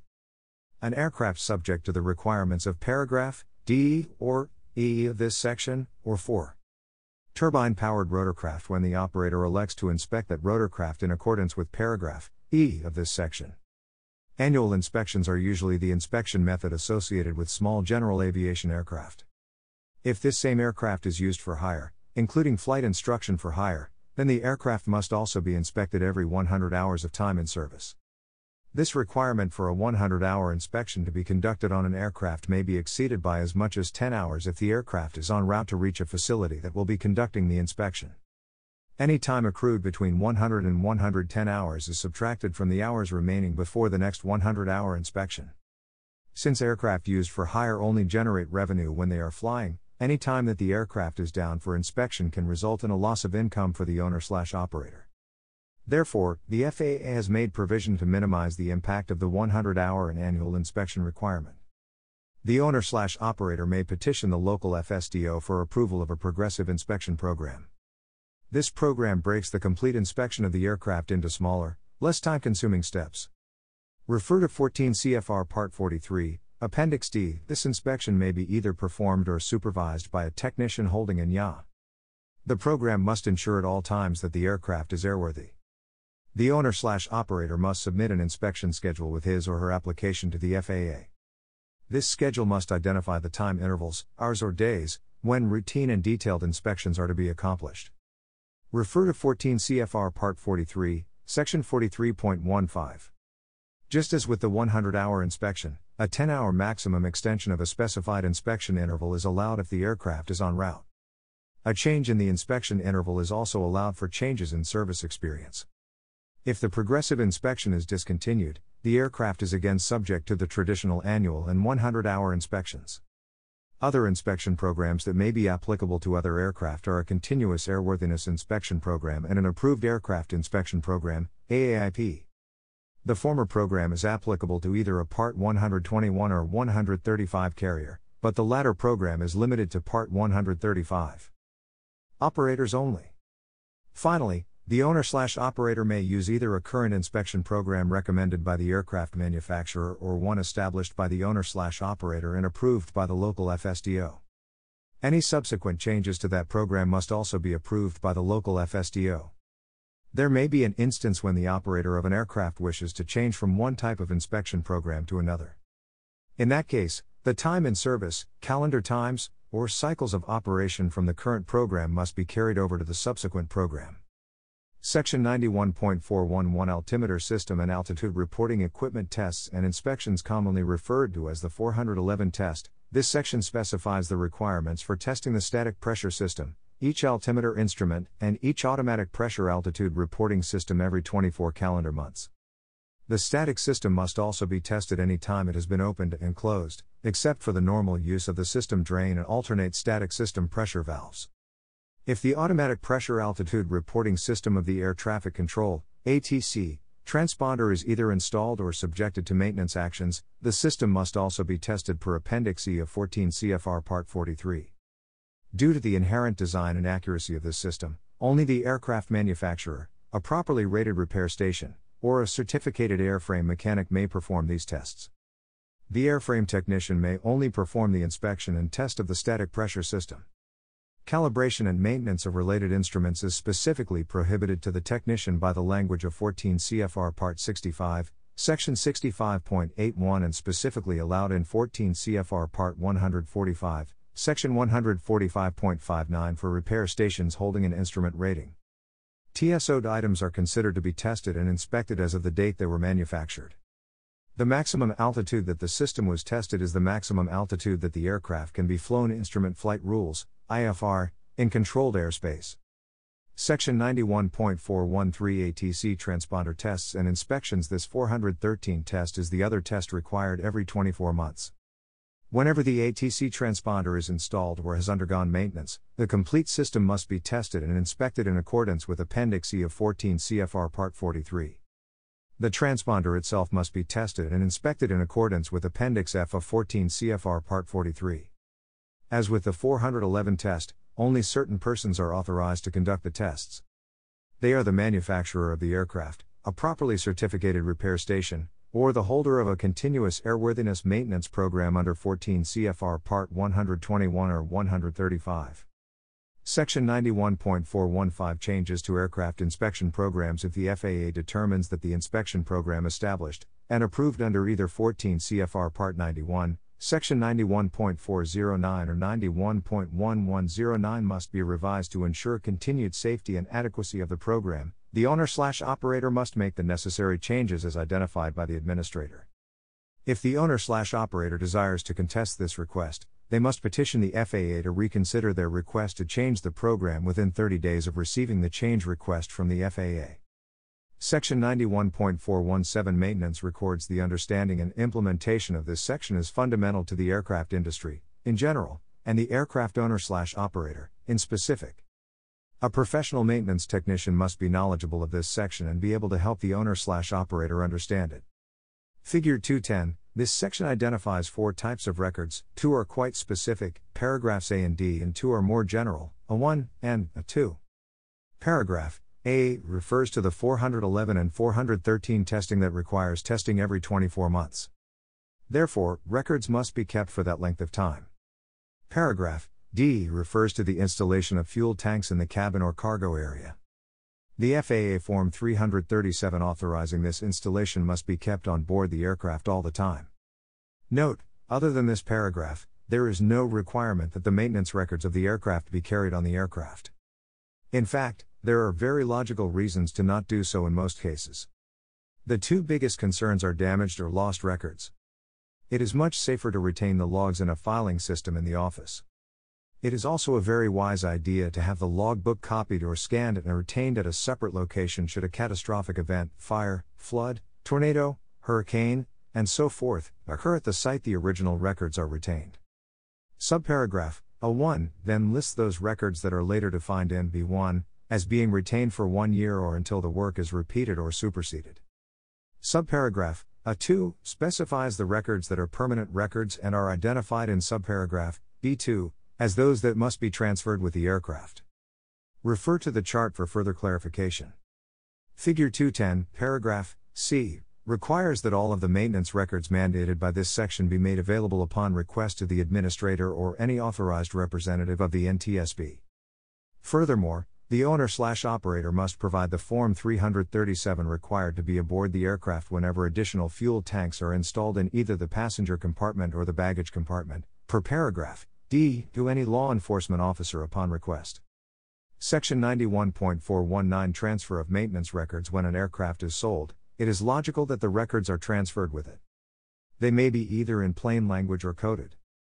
The purchaser may elect to permit the seller to retain the actual records, however, if that occurs, the purchaser, now the current owner slash operator, must still make these records available to either the FAA or the NTSB upon request. Section 91.421 Rebuilt engine maintenance records this section presents the term zero time. Although not truly given as a definition, the wording of the regulation is very clear that an aircraft engine, when rebuilt by the engine manufacturer or an agency approved by the manufacturer, may be given a new maintenance record showing no previous operating history. This new record must include a signed statement with the date it was rebuilt, any changes incorporated by compliance with AD notes, and compliance with any of the manufacturer's SB. Civil Air Regulations, CAR, prior to 1926, access to flying was uncontrolled. No licensing or certification was required. By the middle of the 1920s, it became obvious that unregulated private and commercial flying was dangerous. There was a growing awareness and acceptance that regulation could improve safety and encourage growth in aviation. Therefore, in 1926, the aviation industry requested Congress to enact federal legislation to regulate civil aviation. Thus, the Air Commerce Act of 1926 provided for the 1. Establishment of airways 2. Development of aviation aids 3. Investigation of aviation accidents 4. Licensing of pilots 5. Certification of aircraft The Civil Air Regulations, CARS, were part of the original certification basis for aircraft first certified in the 1940s, 1950s, and 1960s by the Civil Aviation Authority, CAA. Therefore, the CARS may still be needed as a reference for these older aircraft or as a standard for minor changes to older aircraft designs. Figure 211 CAR 3 airplane airworthiness, normal, utility aerobatic, and restricted purpose categories as the name implies. This specific regulation is the basis for the current 14 CFR Part 23 regulation, Figure 21. It has the following subpart categories A. Airworthiness requirements, B. Flight requirements, general, C. Strength requirements, general, D. Design and construction, general, E. Power plant installations, reciprocating engines, F. Equipment Some examples of CAR 3 aircraft are Piper PA 22, PA 28, PA 32, and Cessna 182, 195, and 310. Note, the CAR acronym actually has two interpretations Civil Air Regulations and Canadian Aviation Regulations. The technician must clearly understand the difference and recognize when one or the other is appropriate. CAR 4A Airplane Airworthiness This regulation was originated in 1936 and last amended on December 15, 1952.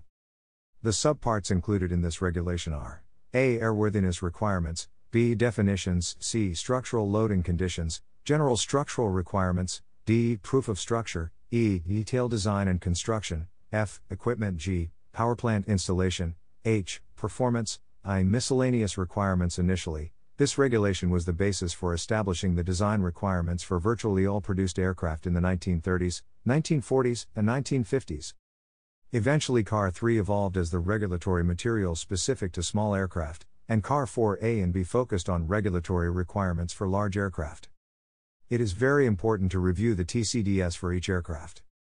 For example, the Cessna 140 was certified as a landplane under CAR 3, but under CAR 4A as a ski plane or seaplane. Another example of a more current and larger aircraft is the Gulfstream 1159 and 1159A. The former is certified under CAR 4B, but the latter is certified to 14 CFR Part 25. Suspected unapproved parts, SUP, there are four types of aircraft parts 1. Good parts with good paperwork 2. Good parts with bad paperwork 3. Bad parts with good, bogus, paperwork 4. Bad parts with bad paperwork The first off those list represents properly authorized parts that, when properly installed, are approved parts, and the aircraft can be returned to service. The last of those listed represent unauthorized and unapproved parts. The technician should be alert for these and must never install them on an aircraft. The center two categories of parts represent suspected unapproved parts. If either the physical part or the paperwork associated with the part is questionable, it is best to contact the shop foreman, shift supervisor, or the assigned quality individual to discuss your concerns. Suspected unapproved parts, SUPs, should be segregated and quarantined until proper disposition can be determined. Contacting the manufacturer of the product is a good way to start gathering the facts concerning the product in question. Refer to the current version of AC 21 to 29, Detecting and Reporting Suspected Unapproved Parts, for additional information. Current contact information for submitting a SUP notification can be found at www.faa.gov. Other FAA documents advisory circulars, AC. AC refers to a type of publication offered by the FAA to provide guidance for compliance with airworthiness regulations. They provide guidance such as methods, procedures, and practices acceptable to the administrator for complying with regulations. ACs may also contain explanations of regulations, other guidance material, best practices, or information useful to the aviation community. They do not create or change a regulatory requirement. The AC system became effective in 1962. It provides a single, uniform, agency wide system that the FAA uses to deliver advisory material to FAA customers, industry, the aviation community, and the public. Unless incorporated into a regulation by reference, the content of ACs are not binding on the public.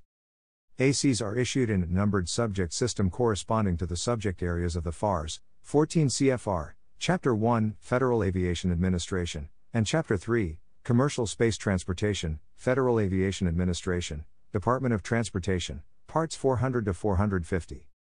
An AC is issued to provide guidance and information in a designated subject area or to show a method acceptable to the administrator for complying with a related federal aviation regulation.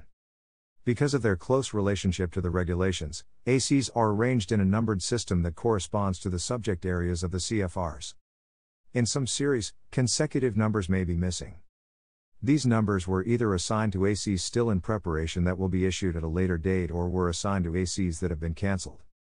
The AC numbering system there are three parts to an AC number, as in 2542C. The first part of the number identifies the subject matter area of the AC. This corresponds to the part of the FAA's regulations. In the above example, this would be part 25. The second part of the number, beginning with the dash, is a sequential number within each subject area. In the above example, this would be the 42nd AC relating to part 25. The third part of the number is a letter assigned by the originating office showing the revision sequence if an AC is revised. The first version of an AC does not have a revision letter. In the above example, this is third revision, as designated by the C. Figure 212, Airworthiness Directives, AD, in accordance with 14 CFR Part 39, the FAA issues ADs in response to deficiencies and or unsafe conditions found in aircraft, engines, propellers, or other aircraft parts. ADs require that the relevant problem must be corrected on all aircraft or aircraft parts using the same design. ADs are initiated as either proposed, corrective, or final, telegraphic, via the Federal Register. The Federal Register is the official daily publication of the United States government. It is the printed method of informing the public of laws that are enacted or will be enacted. Electronic versions of ADs are available from the Federal Register and from the Regulatory and Guidance Library. You can search by manufacturer, model, or AD number. All ADs are incorporated by reference into Part 39 and are considered final. ADs must be followed to remain in compliance with the FAA. Once an AD has been issued, a person slash company is authorized to use the affected aircraft or part only if it has been corrected in accordance with the AD. Types of Airworthiness Directives AD Three types of ADs are issued Notice of Proposed Rulemaking, NPRM, followed by a final rule, final rule, request for comments, emergency ADs. The standard AD process is to issue an NPRM followed by a final rule. After an unsafe condition is discovered, a proposed solution is published as an NPRM and solicits public comment on the proposed action. After the comment period closes, the final rule is prepared, taking into account all substantive comments received, with the rule perhaps being changed as warranted by the comments. The preamble to the final Rule AD provides response to the substantive comments or states there were no comments received. In certain cases, the critical nature of an unsafe condition may warrant the immediate adoption of a rule without prior notice and solicitation of comments. This is an exception to the standard process. If time for the terminating action to be accomplished is too short to allow for public comment, that is, less than 60 days, then a finding of impracticability is justified for the terminating action, and it can be issued as an immediately adopted rule. The immediately adopted rule is published in the Federal Register with a request for comments. The final rule AD may be changed later if substantive comments are received. An emergency AD is issued when an unsafe condition exists that requires immediate action by an owner/operator. The intent of an emergency AD is to rapidly correct an urgent safety deficiency. An emergency AD may be distributed by fax, letter, or other methods. It is issued and effective to only the people who actually receive it. This is known as actual notice. All known owners and operators of affected U.S. registered aircraft, or those aircraft that are known to have an affected product installed, are sent a copy of an emergency AD. To make the AD effective to all persons, a follow up publication of the final Rule AD in the Federal Register is critical. This final Rule AD must be identical to the Emergency AD and is normally published in the Federal Register within 30 days of the Emergency AD issue.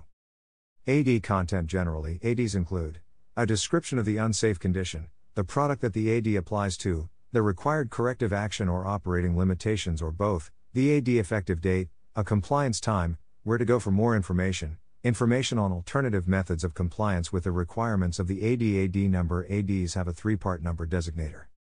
The first part is the calendar year of issuance. The second part is the biweekly period of the year when the number is assigned. The third part is issued sequentially within each biweekly period. Applicability and compliance The AD subject line specifically identifies the TC holder of the aircraft or products affected by the AD.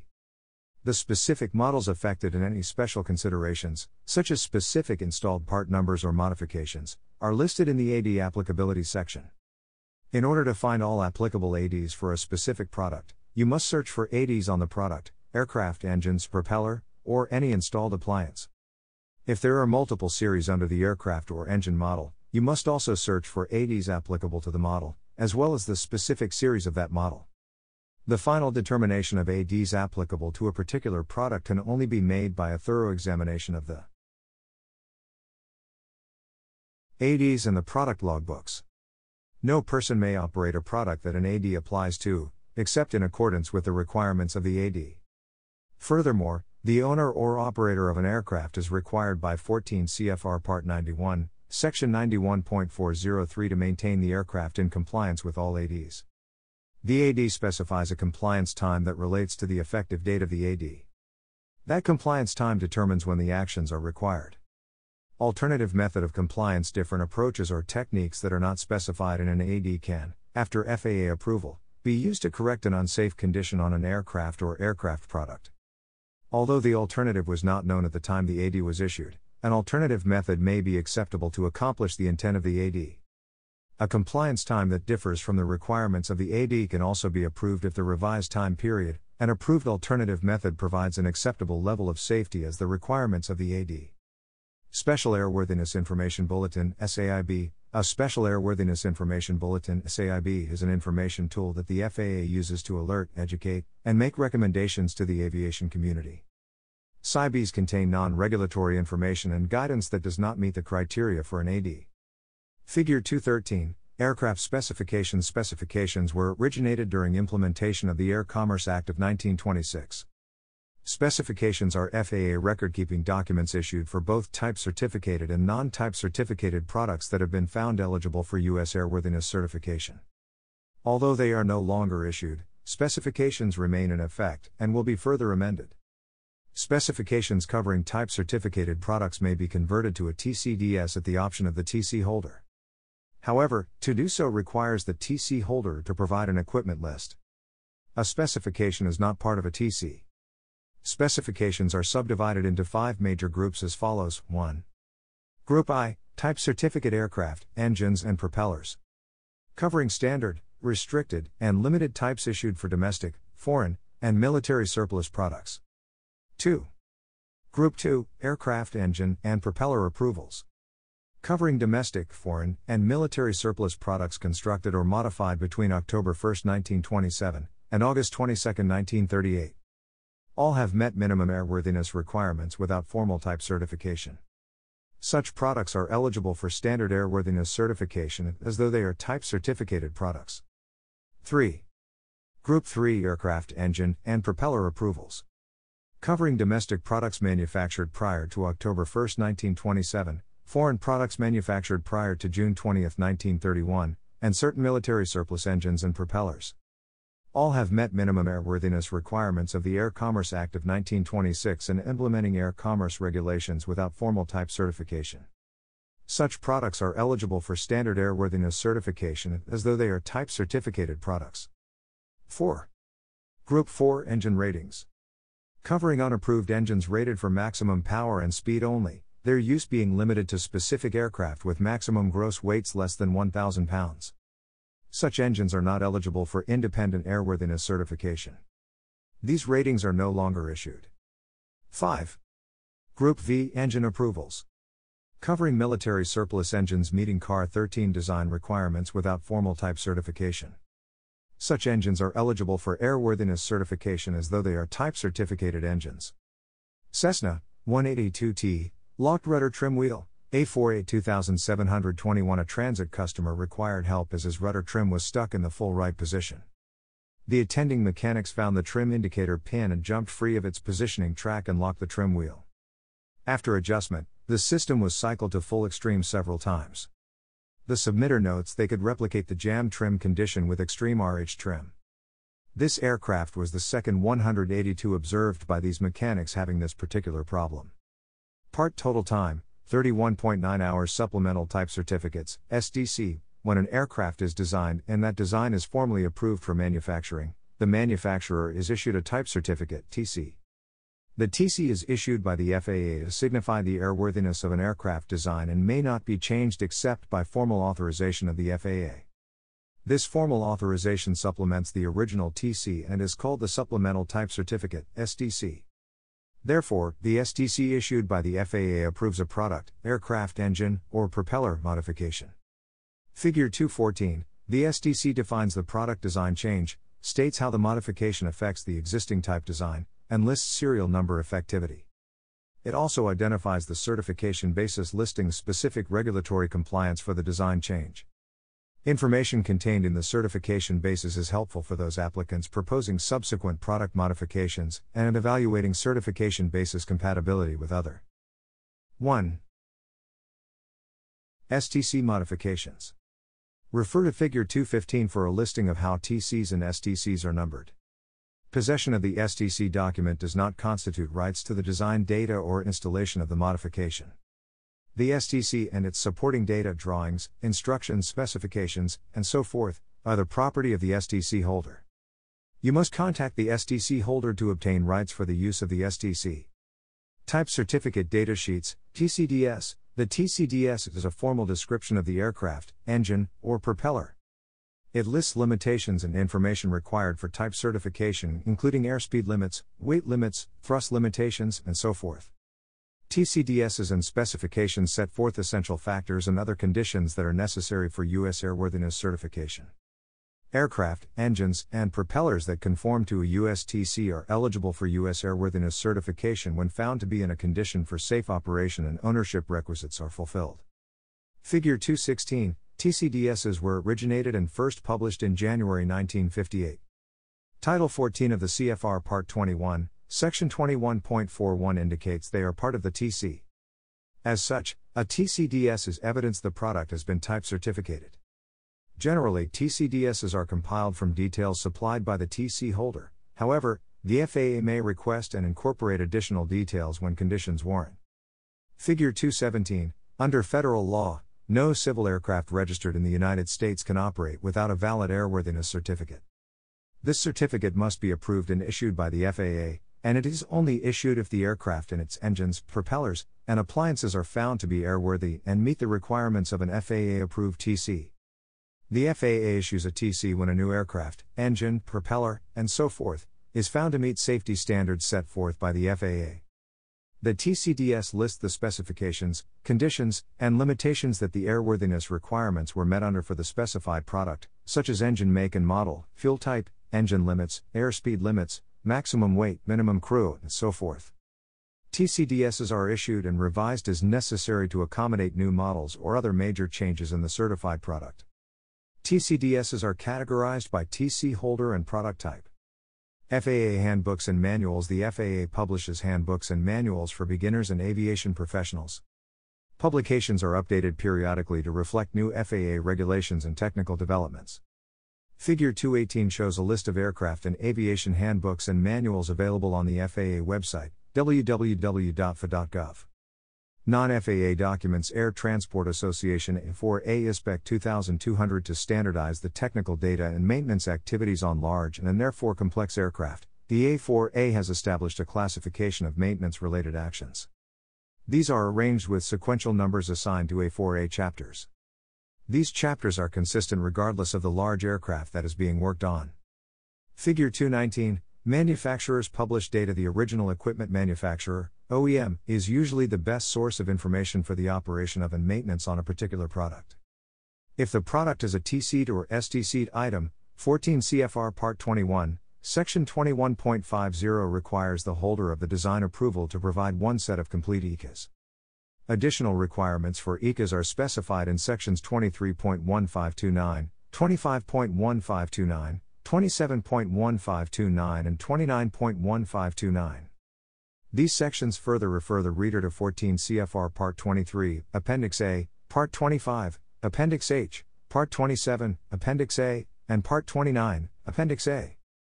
Regardless of the appendix referred to, the requirements in the appendix for the ICA are as follows General, the aircraft ICA must contain instructions for continued airworthiness for each engine, propeller, or appliance and the interface of those appliances and products with the aircraft. Format The ICA must be in the form of a manual or manuals appropriate to the data being provided. Content The manual contents must be in English and must include the following Introductory information, including an explanation of the airplane's features and data as necessary to perform maintenance or preventive maintenance, a description of the aircraft and its systems, including engine, propeller, and appliances, basic operating information describing how the aircraft and its components are controlled, servicing information with such detail as servicing parts, task capacities, types of fluid to be used, applicable pressures for the various systems, access panels for inspection and servicing, lubrication points, and types of lubricants to be used. The maintenance instructions must include the following data recommended schedule for cleaning, inspecting, adjusting, testing, and lubricating the various parts, applicable wear tolerances, recommended overhaul periods. Details for an inspection program that identifies both the frequency and the extent of the inspections necessary to provide for continued airworthiness. Troubleshooting information, the order and method for proper removal and replacement of parts, procedures for system testing during ground operations, diagrams for structural access plates, details for application of special inspection techniques, information concerning the application of protective treatments after inspection, information relative to the structural fasteners, list of any special tools needed.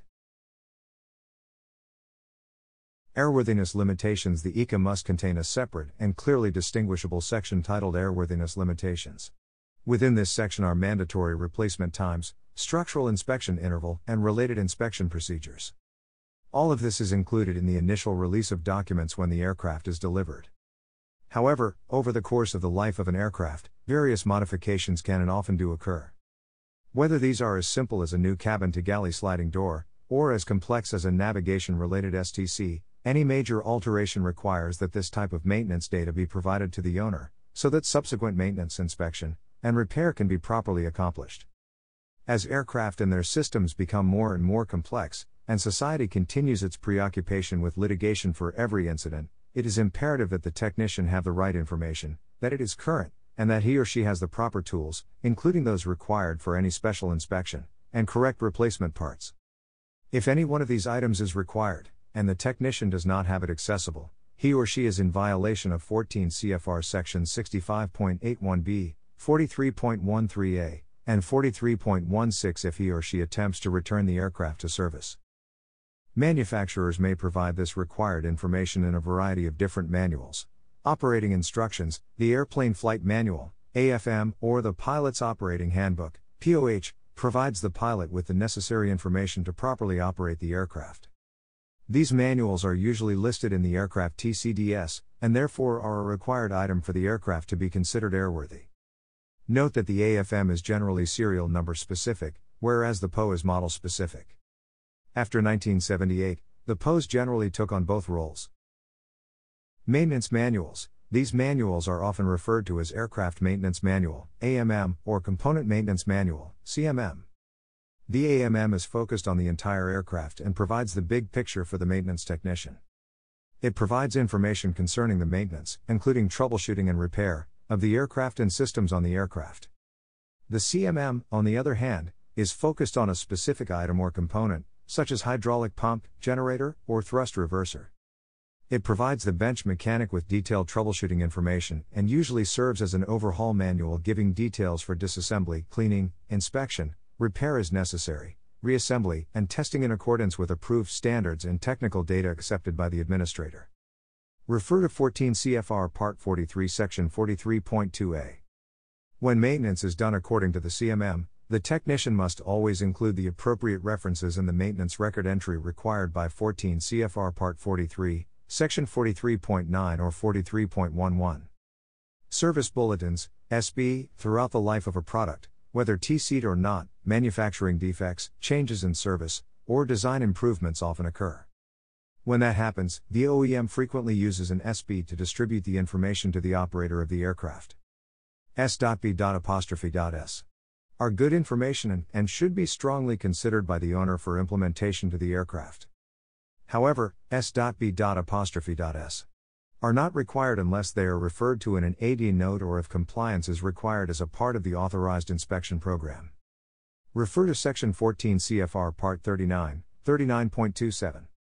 Structural Repair Manual, SRM, as the name implies, this manual carries detailed information for the technician concerning an aircraft's primary and secondary structure, criteria for evaluating the severity of the detected damage, determining the feasibility of a repair, and alignment/inspection information.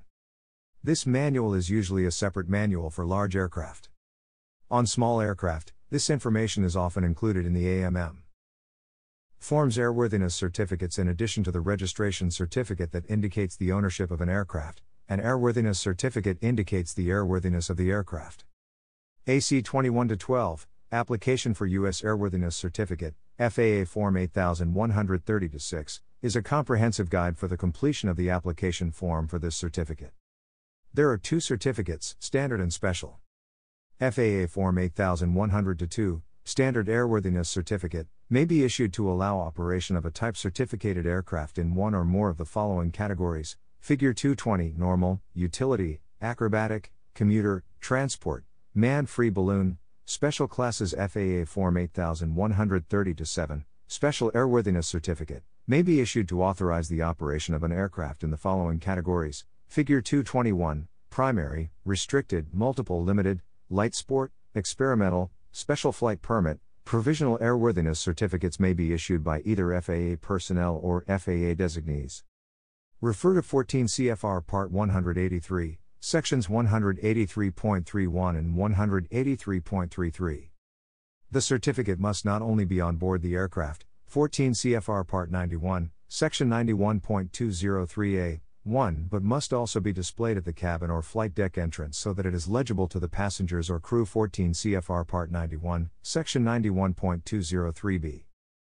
Since the ability to obtain this certificate is based upon the requirement to inspect the aircraft to determine that it conforms to type design and is in condition for safe operation, it can also be revoked by the FAA if either of those two requirements ceases to exist. Aircraft registration Aircraft must be registered in the United States if the aircraft is not registered under the laws of a foreign country and is owned by either a citizen of the United States, a foreign citizen lawfully admitted to the United States, or a corporation organized in and doing business under U.S. laws and primarily based in the United States. This registration is accomplished by using FAA Form 8050 1, Aircraft Registration Application. The aircraft registration form is available online at www.faa.gov. The aircraft owner can mail in completed copy and keep a copy of the form as temporary authority to operate the aircraft after the fee and evidence of ownership have been mailed or delivered to the registry. When carried in the aircraft with an appropriate current airworthiness certificate or a special flight permit, a copy of this completed application provides authority to operate the aircraft in the United States for up to 90 days. In addition to the completed application form, the owner must also submit evidence of his or her ownership, such as a bill of sale and a registration fee. A successful review of the application results in the issuance of AC Form 8050 3, Certificate of Aircraft Registration. Note the AC prefix. 14 CFR Section 91.203a 2 requires that either the pink copy of the application or the actual certificate of registration be on board the aircraft during its operation. If the registration is ever lost or damaged, it may be replaced by contacting the FAA Aircraft Registration Branch and providing them with the aircraft specific data, including make, model, and number and serial number. A replacement certificate fee and an explanation of the reason for the replacement certificate are also required. Radio station license A radio station license is required if the aircraft is equipped with radios, and the aircraft is planned to be flown outside the boundaries of the United States. A radio station license is not required for aircraft that are operated domestically. A major change occurred on February 8, 1996, when the Telecommunications Act of 1996 was signed into law. The Federal Communications Commission, FCC, formally required that any communication transmitter installed in aircraft be licensed. These FCC licenses were valid for five years. This is not an FAA requirement. FAA inspectors who conducted ramp inspections and detected an expired radio station license were not required to notify the FCC, nor could they issue a violation to the owner/operator. Simply informing the operator of the expired radio station license was their only responsibility. FSGA 9606, a Flight Standards Information Bulletin FSIB for general aviation, FSGA, titled Elimination of Aircraft Radio Station Licenses became effective on July 8, 1996. New aircraft, face side, although that FSIB had an effectivity of only one year, the elimination of the requirement for aircraft used only in domestic operations continues. FAA Form 337, Major Repair and Alteration refer to the current issue of AC 43.9 to 1, Instructions United States of America for completion of FAA Form 337 for help completing FAA Form 337, major repair and alteration, airframe, powerplant, propeller, or appliance. Figure 222, 1 nationality and 2 manufacturer and model then grant a field approval, shown by completing and signing this area. In many cases, this block is blank because the technician has found, used, and made reference to data already approved by the FAA. Department of Transportation Federal Aviation Administration Standard Airworthiness Certificate as the name clearly states, this form is to be used whenever Jackson 47G4N 54321 major repairs or alterations are accomplished on an aircraft. 5. Authority and basis for issuance. Item 4. If the repair or alteration is being done to the aircraft airframe, no entry is required since the data is identical to that in Item 1. However, if the repair or alteration is being done to an engine, a propeller, or other appliance, entries must 3 aircraft serial 4 category number include the appropriate make, model, and serial number information. 3191 HG Item 5 should have X marked in either the repair this airworthiness certificate is issued pursuant to 49 USC 44704 and certifies that, as of the date of issuance, the aircraft to which the only exception would be that 14 CFR Part 43, Appendix issued has been inspected and found to conform to the type certificate therefore, to be in condition for safe operation, and has been B allows for a certificated repair station to RTS an aircraft with the alteration column. Shown to meet the requirements of the applicable comprehensive and detailed airworthiness code as provided by Annex A to the registration marks, Convention on International Civil Aviation, except as noted herein. After a major repair by using a signed and dated work order, exceptions, and a signed maintenance release. Information in Item 1 comes directly from the aircraft non data plate, except for the tail number.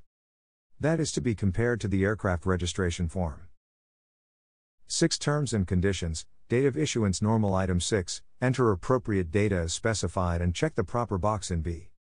The technician is encouraged to carefully read the pre printed statement in subparagraph D prior to signing this section. Item 7 must be completed by the IA or authorized individual from the repair station unless sooner surrendered, suspended, revoked, or a termination date is otherwise established by the FAA. This airworthiness certificate is effective as long as the maintenance, preventative maintenance, and alterations are performed in accordance with Parts 21, 43, and information in Item 2 reflects the name and address 91 of the Federal Aviation Regulations, as appropriate, and the aircraft is registered in the United States. Listed on AC Form 8050 3, Certificate of Registration. Item 3 is used when there is no existing approved data for the intended repair or alteration. In that case, the designation number EJ. Smith SW20 any iteration, reproduction, or misuse of this certificate may be punishable by a fine not exceeding $1,000 or imprisonment not exceeding 3 years or both. February 9, 2015 EJ. Smith technician can request that the local FSDO principal maintenance inspector, PMI, review the data and item 8 on the reverse side, is for the description of the work accomplished. It must include a reference to the approved data used to conduct the required maintenance. This certificate must be displayed in the aircraft in accordance with applicable federal aviation regulations. FAA Representative, FAA Form 8100 2, 04 11, supersedes previous edition. Figure 4 1. Sample FAA Form 8130 7, Special Airworthiness Certificate Front United States of America Department of Transportation, Federal Aviation Administration Category slash Designation of Purpose, Manu Name Manufacturer Address from C Flight 2, ND Builder Date of Issuance Operating Limitations Dated Signature of FAA Representative E Special Airworthiness Certificate Serial No. Model expiry are part of this certificate designation or office no. Any alteration, reproduction, or misuse of this certificate may be punishable by a fine not exceeding $1,000 or imprisonment not exceeding three years, or both. This certificate must be displayed in the aircraft in accordance with applicable Title 14, Code of Federal Regulations CFR. FAA Form 8130 7, 04 11, previous edition 07 4th of may be used until depleted C reverse side SN 0052000693 to 4000 back A. This airworthiness certificate is issued under the authority of Public Law 104 to 6, 49 United States Code, USC 44704 and Title 14 Code of Federal Regulations, CFR. B. The airworthiness certificate authorizes the manufacturer named on the reverse side to conduct production flight tests, and only production flight tests, of aircraft registered in his name. No person may conduct production flight tests under this certificate. 1. Carrying persons or property for compensation or hire, and or 2. Carrying persons not essential to the purpose of the flight. See this airworthiness certificate authorizes the flight specified on the reverse side for the purpose shown in Block A. D. This airworthiness certificate certifies that as of the date of issuance, the aircraft to which issued has been inspected and found to meet the requirements of the applicable CFR. The aircraft does not meet the requirements of the applicable comprehensive and detailed airworthiness code as provided by Annex A to the Convention on International Civil Aviation. No person may operate the aircraft described on the reverse side, 1, except in accordance with the applicable CFR and in accordance with conditions and limitations which may be prescribed by the FAA as part of this certificate. 2. Over any foreign country without the special permission of that country. E. Unless sooner surrendered, suspended, or revoked, this airworthiness certificate is effective for the duration and under the conditions prescribed in 14 CFR, Part 21, Section 21.181 or 21.217. Figure 221. FAA Form 8130 7, Special Airworthiness Certificate. The form must be completed at least in duplicate, with the record's original provided to the owner slash operator and a copy to the local FSDO within 48 hours of completing the maintenance and RTS. If the FAA Form 337 is used to document additional fuel tanks in the cabin or cargo, then an additional copy must be signed and in the aircraft at all times. Maintenance facilities and mechanics are encouraged to make a copy for their own records. Making maintenance record entries Title 14 of the CFR Part 43, Sections 43.9 and 43.11 require the technician to make appropriate entries of maintenance actions or inspection results in the aircraft maintenance record. How long those records must be kept is defined in 14 CFR Part 91, Section 91.417. Major repair and alteration U.S. Department of Transportation, airframe, powerplant, propeller, or appliance, Federal Aviation Administration OMB No. 2120 0020 Electronic Tracking Number EXP, May 31, 2018 for FAA use only instructions, print or type all entries. See Title 14 CFR Section 43.9, Part 43 Appendix B, and AC 43.9 to 1, or subsequent revision thereof, for instructions in disposition of this form. This report is required by law, 49 U.S.C. Section 44701. Failure to report can result in a civil penalty for each such violation. 49 U.S.C. Section 46301A, Nationality and Registration Mark 1. Aircraft make name, as shown on registration certificate, 2. Owner 3. For FAA use only 5. Unit identification 4. Type repair alteration unit make airframe powerplant propeller type appliance manufacturer 6. Conformity statement B. Kind of agency state country serial no. Model series address, as shown on registration certificate, address city state zip country model serial no. As described in item 1 above, U.S. certificated mechanic manufacturer foreign certificated mechanic C certificate no. Certificated Repair Station Certificated Maintenance Organization I certify that the repair and or alteration made to the units identified in item 5 above and described on the reverse or attachments hereto have been made in accordance with the requirements of Part 43 of the U.S. Federal Aviation Regulations, and that the information A. Agency S name and address name address city zip D. Furnished herein is true and correct to the best of my knowledge. Signature slash date of authorized individual extended range fuel per 14 CFR Part 43 app. B7.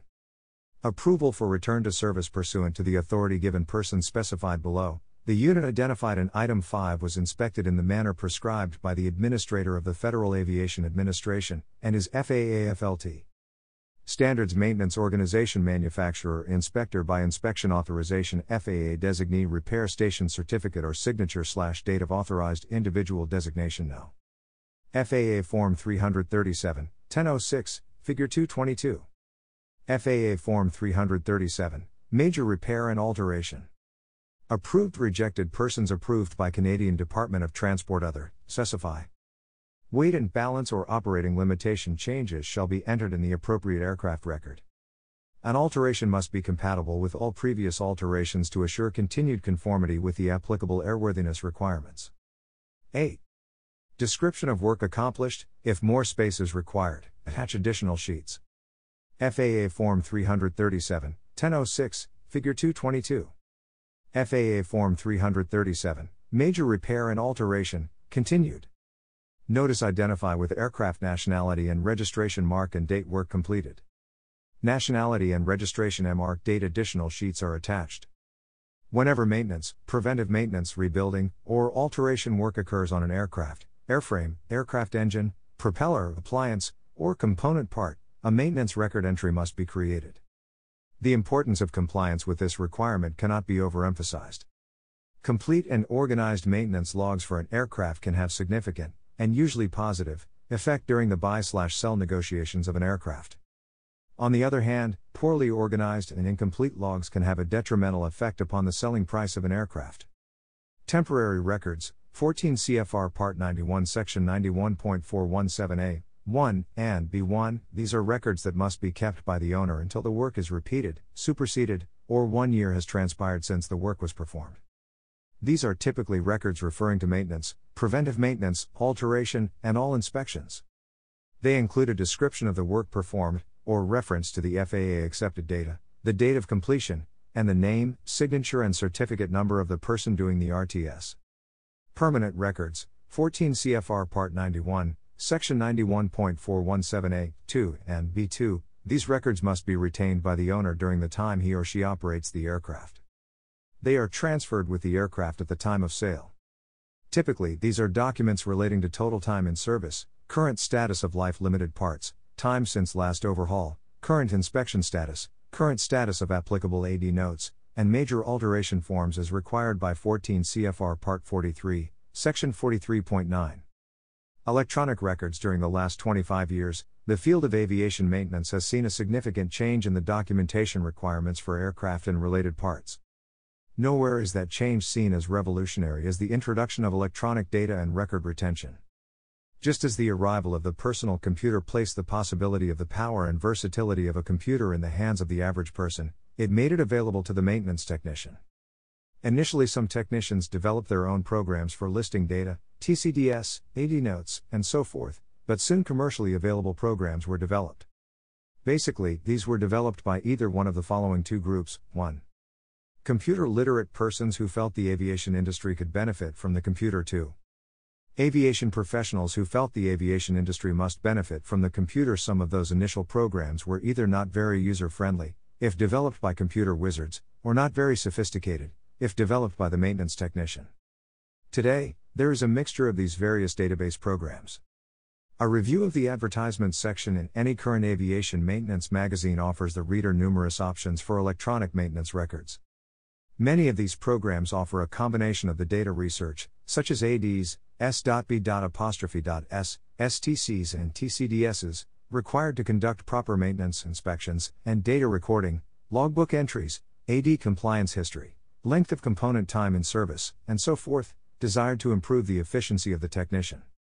Although some large shops and certified repair stations may have a separate group of people responsible for records and research, the professional maintenance technician must be aware of the benefits of these systems. Some factors to consider when reviewing a system are what is the typical size of the aircraft that maintenance is being done on? i.e., less than 12,500 pounds, more than 12,000? Mixed? Does the program have built in templates for the aircraft being worked on? What FAA forms, if any, are available in the program? Does it have a user friendly template to enter the data for the form or must data be directly entered onto the form? Can it calculate weight and balance data? Does it have adequate word search capabilities? Is it networkable? Are the updates sent via US mail or downloaded from the internet? What is the maximum number of aircraft that the system can handle? Can the system handle both single and multi engine aircraft? Fixed and rotary wing? Piston and jet? Can an item removed from an aircraft be tracked?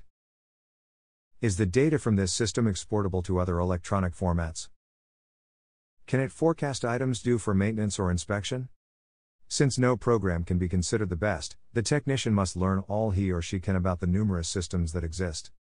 Exposure to the pros and cons of these different systems can be one of the benefits of attending various trade shows, maintenance seminars, or IA renewal sessions.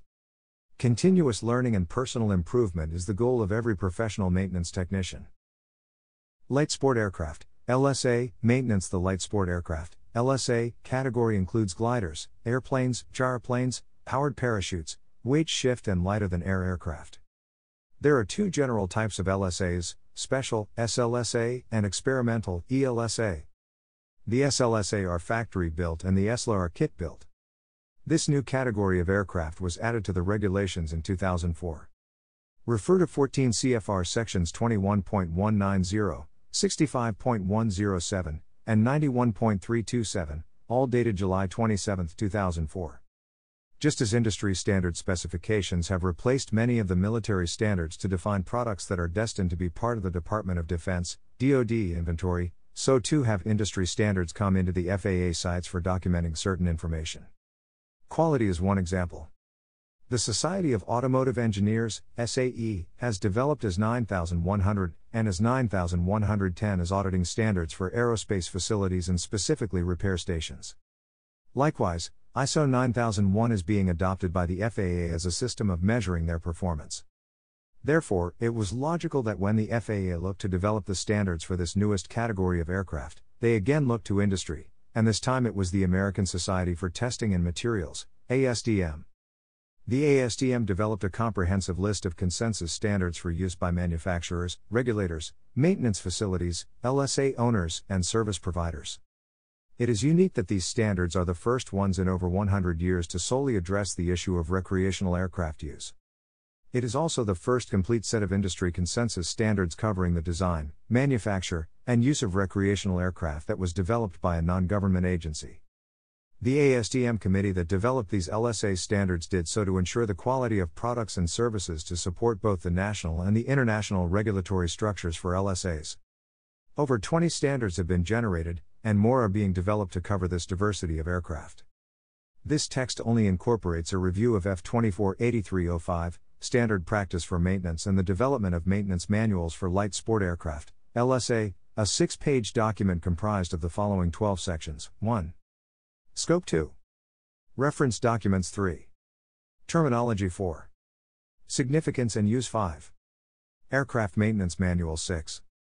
Line Maintenance, Repairs, and Alterations 7. Heavy Maintenance, Repairs, and Alterations 8.